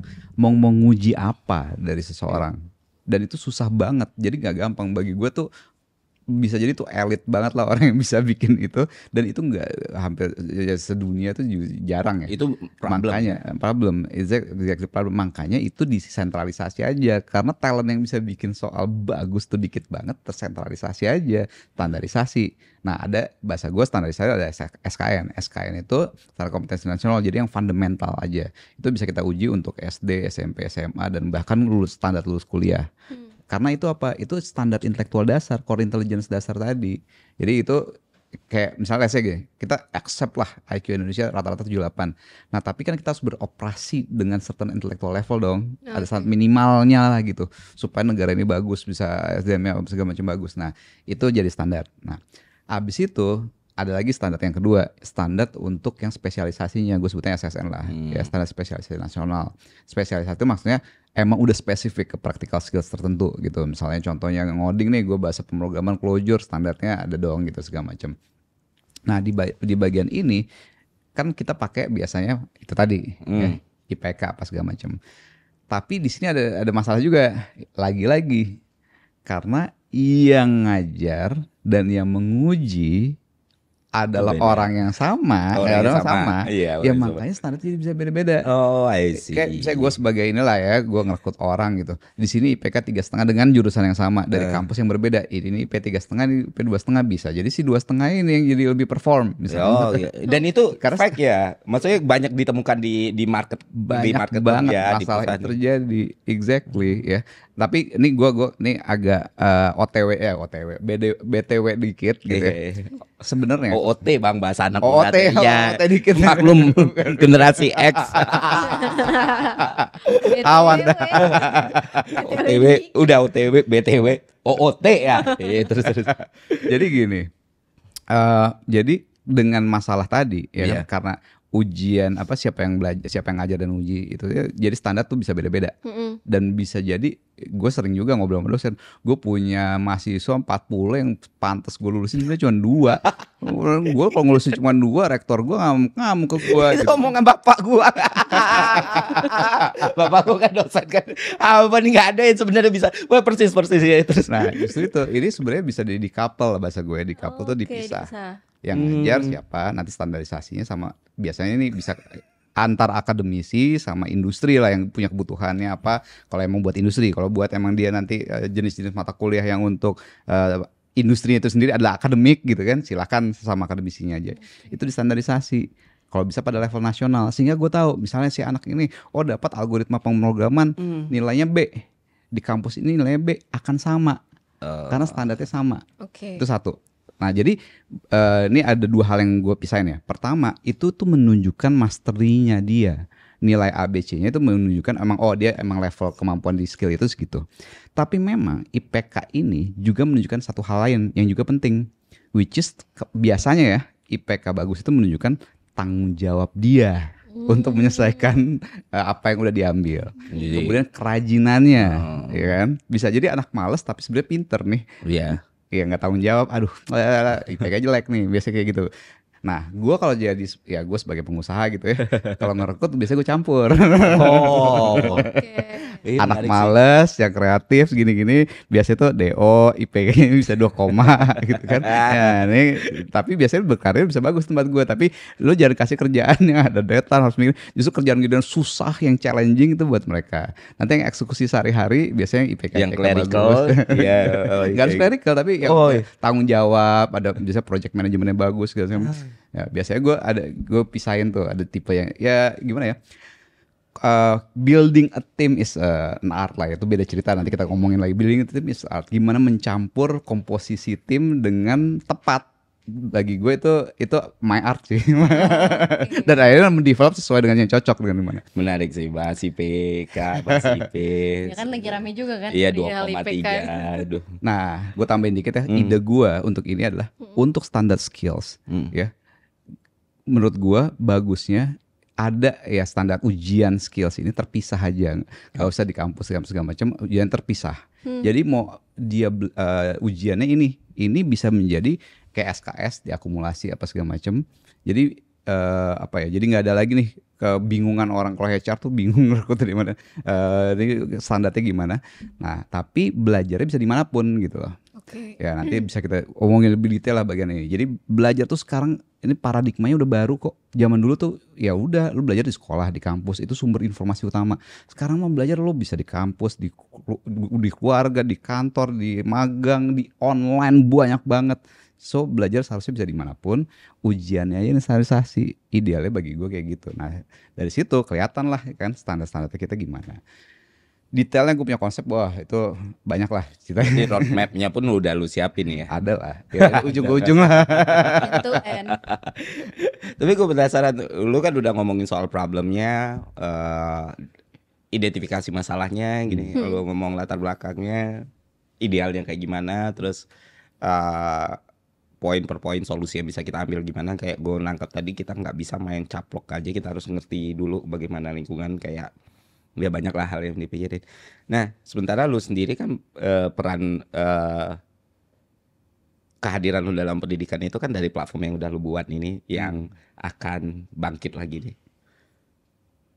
Ada nggak bang ngaruh antara Zeni- Zenius yang mau lu develop sekarang sama semua yang lu bicarain tadi itu ada apakah itu yang mendasari lu lu lu punya punya semangat untuk ngerunning Zenius lagi or lu buat Zeniusnya baru lu ah ini nih masalah gua nih gitu. gimana yang kedua Nggak tahu lu buat nih Zenius. Hah? Aku harus nyari ini sesuatu yang bisa gua narasikan. Ya gitu gua, gua penasaran karena kan wah ini terlalu terstruktur ya. Maksudnya tentu kita penasaran kan apa apa yang mau di dilakukan seorang Sabda, Sabda PS selanjutnya dengan Zenius yang mau dia buat lagi yang orang bilang bangkrut dan dia bilang nggak bangkrut lagi berhenti sebentar. Lagi berhenti Iya. sebentar. Jadi apa bang kontribusi Zenius dari semua yang lu bicarain tadi ya masalah solusi atau Oke, gua mau klarifikasi dikit. Jadi yang PT lama memang Ditutup ya? rencananya mau ditutup. oh close. Eh, kita close. Berarti secara legal emang Ya nantinya belum tapi belum, Belum. dalam proses ya. di Tapi close nanti ya. yang baru akan apa eh, ya inilah eh, beli aset-aset yang lama pindahin ya, terus kemudian running baru lah. Itu gua klarifikasi dikit. Nah, terus kalau eh, apakah jadi Zenius ini duluan apa Ada problem yang membuat Zenius ini hadir atau Zenius hadir. ya, oh gua kita harus cari bikin masalah. bakal ya yang nomor dua itu orang PR gitu, Biasa gitu. cari narasi cari narasi. atas solusi ya biar kita relevan nih. ya kerja kerja gua lah. nah eh, gini ceritanya Eh, kan ya backgroundnya tuh memang waktu gua dulu apa ya kuliah ya Hmm. Eh, kuliah gue diajarin untuk belanja masalah ya gue baca Tal Malaka semangat wah. terus habis itu belanja masalah nih kan apa ya, quarter life crisis Ci lu tahu lu tahu belanja masalah bang? Enggak. oh Ya quarter kalau nggak tahu ngomong. Ini mau nanya. Oh, iya. Jadi jadi belanja masalah tuh apa kak? iya jadi quarter life crisis lo tau nggak Ya umur 25 ya sekitar umur segitu segitu ya, dua tigaan gitu kan. Bukan jati diri. oh mau gue mau ngapain dalam hidup gitu gitu Iya. kan. Gue juga mengalami hal itu of course. Nah, mengalami hal itu gue mau ngapain dalam hidup gue karya gue apa mau ke mana dan sebagainya sebagainya nah gue belanja masalah lah. Nah, belanja masalah itu adalah gue baca segala macam lah segala macam lihat tahu teori dan kemudian lihat masalah-masalah yang ada di Indonesia apa. Kalau gue mau berperan berkontribusi di bagian mana nih gitu ya Oke, lihat iya, masalah-masalah iya, yang ada. oh di sini nih oh di sini. Nah gue cari masalah yang paling relate sama gue dong gitu yang paling ya gue bisa punya kemampuan dan sebagainya nah gue belanja masalah dan dari situ gue menemukan gue keliling-keliling tuh by the way. Gue keliling sini keliling sini nanya pengusaha lah nanya lah. Nah salah eh, salah dua salah dua tiga lah ada tiga mentor gue ternyata yang paling connect sama gue gitu ya itu ada dulu eh, guru gue guru bimbel gue yang punya SCC Jakarta itu Pak Medi. Oh. kemudian Pak Sony Sugema sendiri yang punya seluruh SCC-nya nasional sempet juga gue ngomong sama Pak Purdi yang uh, dulu pendiri Primagama dan akhirnya sekarang Primagama jadi punya kita. nah, yang Oke, yang baik. paling yang paling yang eh, salah satu yang paling eh, berdampak sama gue adalah ketika gue ngobrol sama almarhum Pak Fuad Hasan, Hmm. itu mantan Menteri Pendidikan.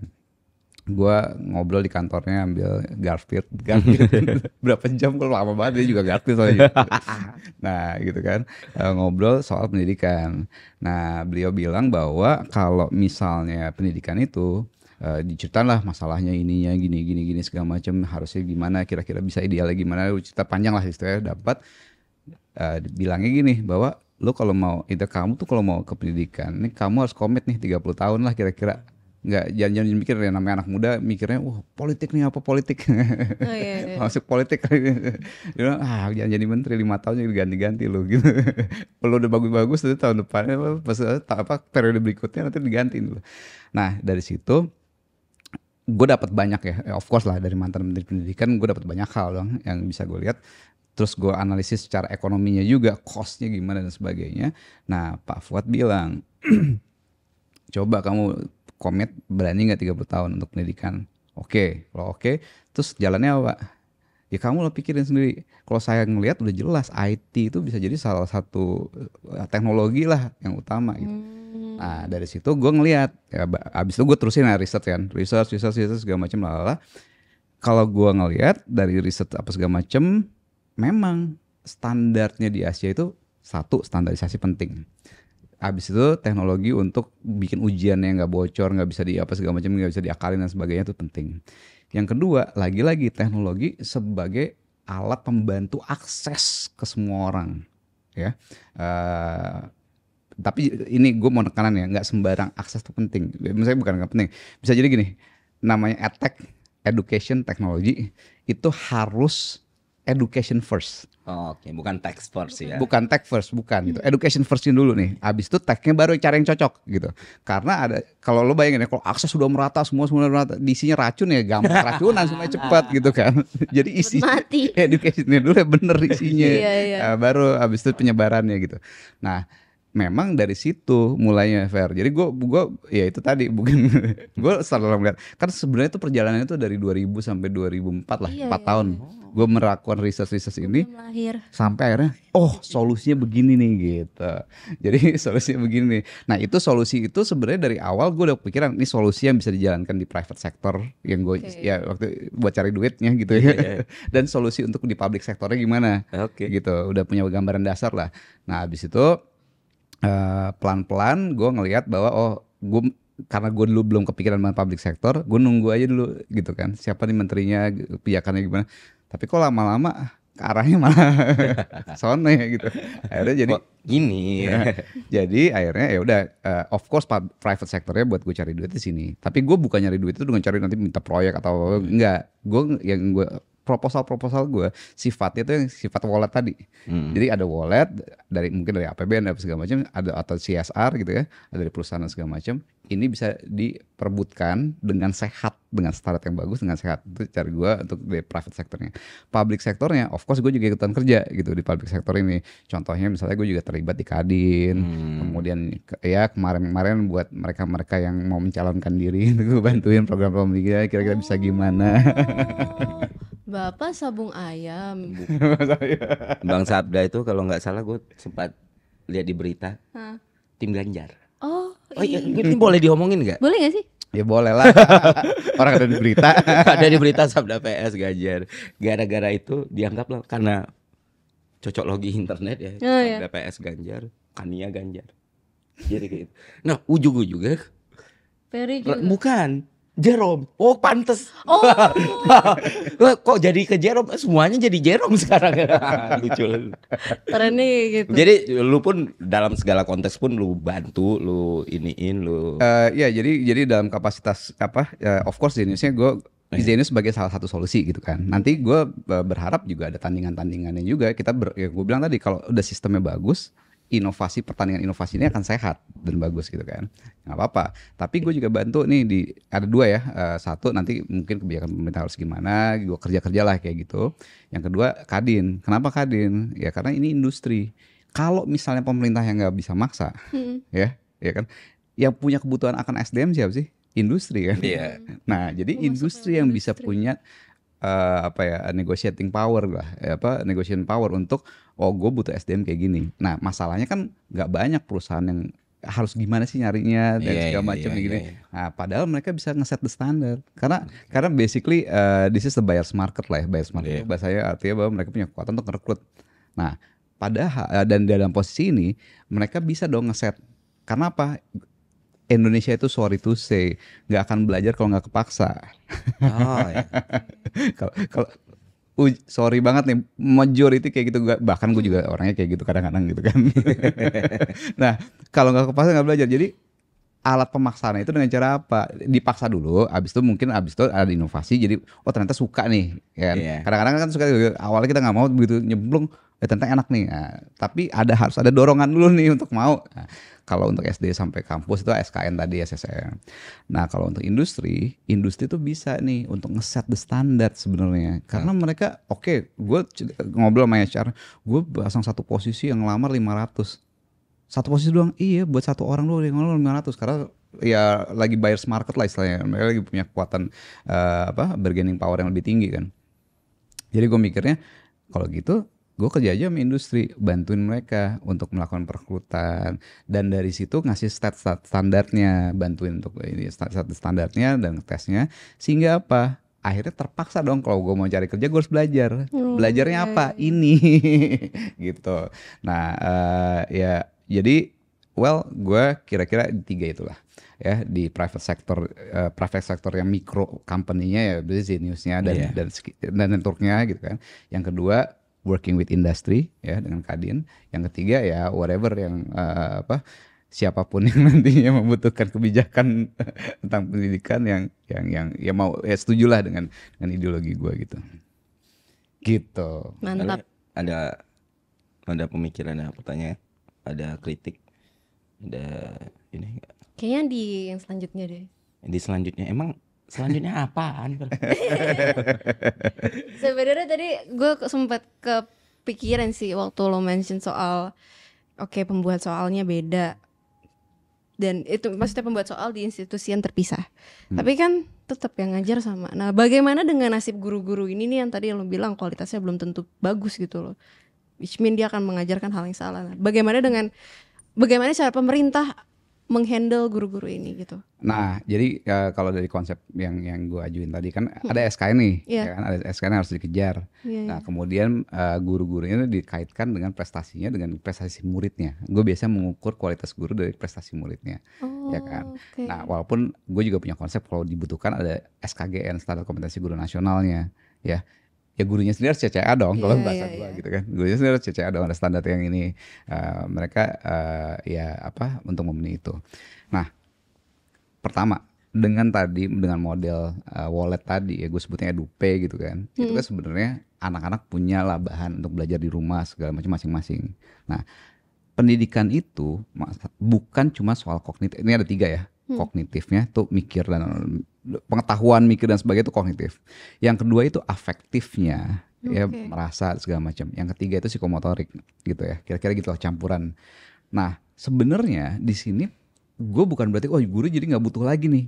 Enggak di bagian eh, misalnya edtech teknologi segala macam bisa ngasih konten bagus itu ngisi bagian mostly kognitif. Oke. ya tetap murid-muridnya butuh personal touch dari guru-guru ini. Motivasi. Guru-guru tuh ya kalau gue peran gue misalnya ini kan gue ngajar di Zenius sudah ada Zeniusnya nih ya. Guanya sendiri pas ngajar live tuh gue ngapain? Mostly bikin mereka termotivasi. Bikin mereka gue kasih eh, apa ya buka jalan mereka gitu. Buka jalan supaya uh ternyata mereka ngeliat ini seru ngeliat itu seru ngeliat itu seru ngeliat itu segala jadi men-trigger curiosity mereka ketertarikan mereka dan sebagainya atau membuat mereka jadi ambis yang sehat gitu kan. Iya. That's what I do. Ya, nanti sisanya itu paling 10% gue lakuin. 90% mah udah ya apa ya recorded lah bahasanya. Asynchronous learningnya mereka bisa belajar sendiri independen. Once mereka udah tertarik ya apa segala macam personal coaching apa segala macamnya itu motivasi udah ada, gampang mereka belajar sendiri. Iya, iya. belajar jadi lebih gila Nah, lagi. menurut gue Oke. ya, di situlah pembagian peran antara bagaimana peran guru di lapangan dengan all the teknologi yang ada gitu, attack lah ya bahasanya. Nah, itu bisa sangat eh, dan dan itu pun gue lakukan di Primagama ya. Primagama dengan ratusan cabang-cabang offline-nya, guru-gurunya bukan berarti nggak berguna ya, tetap harus monitoring, personal coaching. Oh, kamu tuh saya di sini sini sini segala macam. Tapi kan ada bantuan artilerinya apa udaranya lah gitu. Serangan udaranya ya di Zeniusnya gitu kan Zeniusnya mereka belajar itu segala macam. Baca think tank politik banget serangan udara. ya serangan udaranya gitu. Misalnya dari itu dari Zeniusnya tapi jaringan offline itu ya penting. Jadi eh, gimana pun juga ya belajar ini ini data gua adalah attack itu sendiri memang kadang-kadang ya bagus. Anak-anak kalau udah belajar oke, tapi pas mau mulainya kadang-kadang tuh aduh gue tahu gue perlu belajar dan ini bagus gue bisa belajar ini. Cuman pas mau mulainya kalau nggak ada yang nge-trigger nih Iya, iya, suka males mulai gitu. nah guru-guru offline offline ini bisa menjadi justru jadi kayak guru-guru yang jadi apa ya inspiratornya, jadi fasilitatornya, jadi personal coach lah gitu buat anak-anak. Jadi perannya dari guru jadi lebih ke coach and mentor gitu. Tetap sangat dibutuhin sih. Oke, mungkin terakhir ya karena durasinya udah sejam lebih nggak kerasa kayaknya ini podcast terpanjang ya. gue pengennya 4 jam gitu kayak Joe Rogan gitu nggak tapi ya Gue jujur gak tau Joe Rogan siapa tapi ya udah. Feli ini bukan buka ini ya gue gua kerja sama Feli udah setahun lebih dan Feli juga kerja sama Bang Sabda dia ini bukan orang bodoh gitu dia pinter banget tapi kadang bodoh sekali ya Enggak gue gak Lu kebanyakan- chronically online. Enggak lu kebanyakan gaul sama Kania sih jadi kurang-kurangi Jorogen nggak tahu Jorogen itu PR lu lah cari Jorogen Pin pin blo, pin pin blo. ini mungkin class, classic question ya tapi gue rasa penting banget.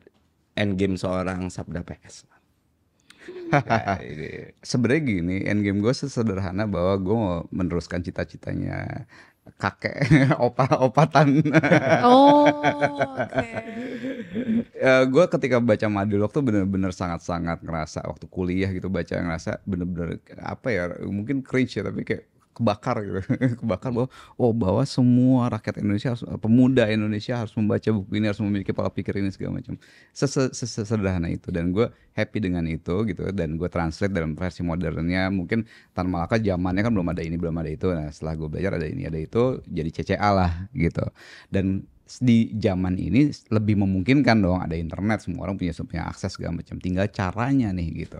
Karena gue berpikir bahwa eh, gini nanti di zaman nanti bisa jadi udah ada AI ya. Oke. AI AGI apa apa itu udah bisa eh, doing lot of things lah. Jadi manusia tuh apa ya mostly mostly but, lebih butuh meaning lebih butuh apa ya eh, hiburan yang apa trigger ini dan itu.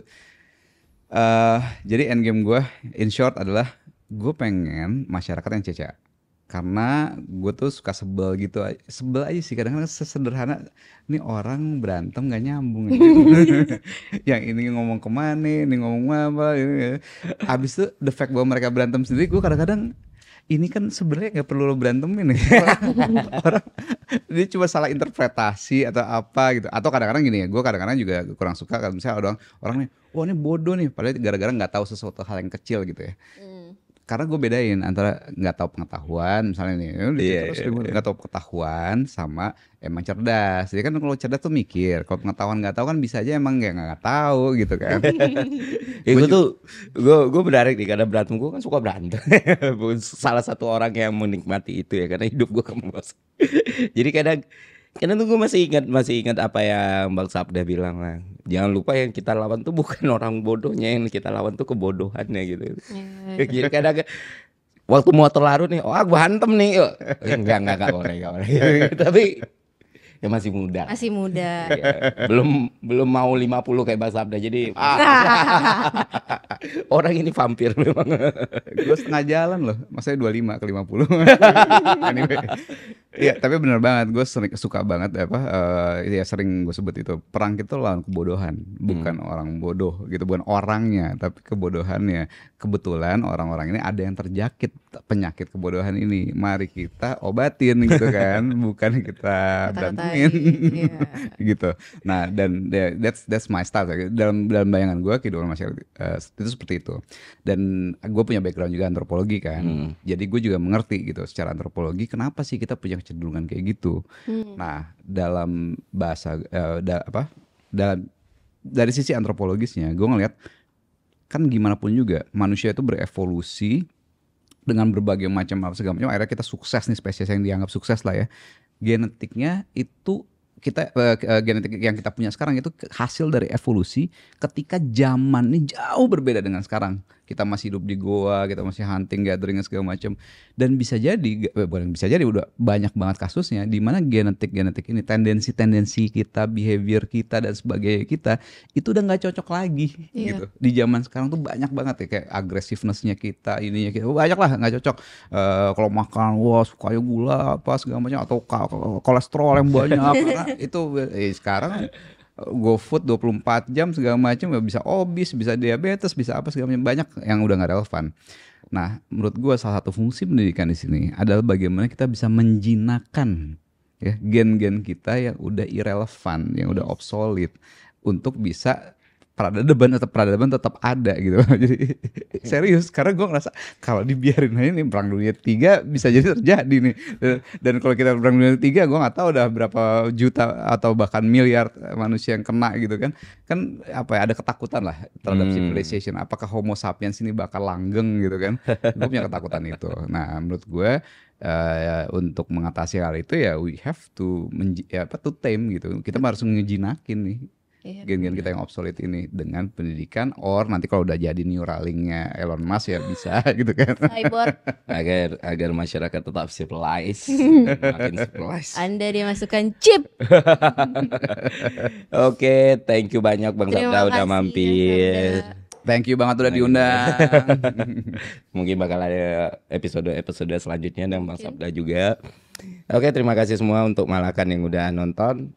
Jangan lupa subscribe. Jangan lupa subscribe karena Kami butuh penting. AdSense. Iya.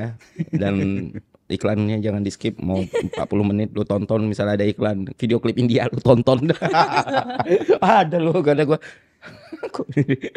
ya udah itu aja sampai jumpa di podcast selanjutnya ya. Dadah. Bye.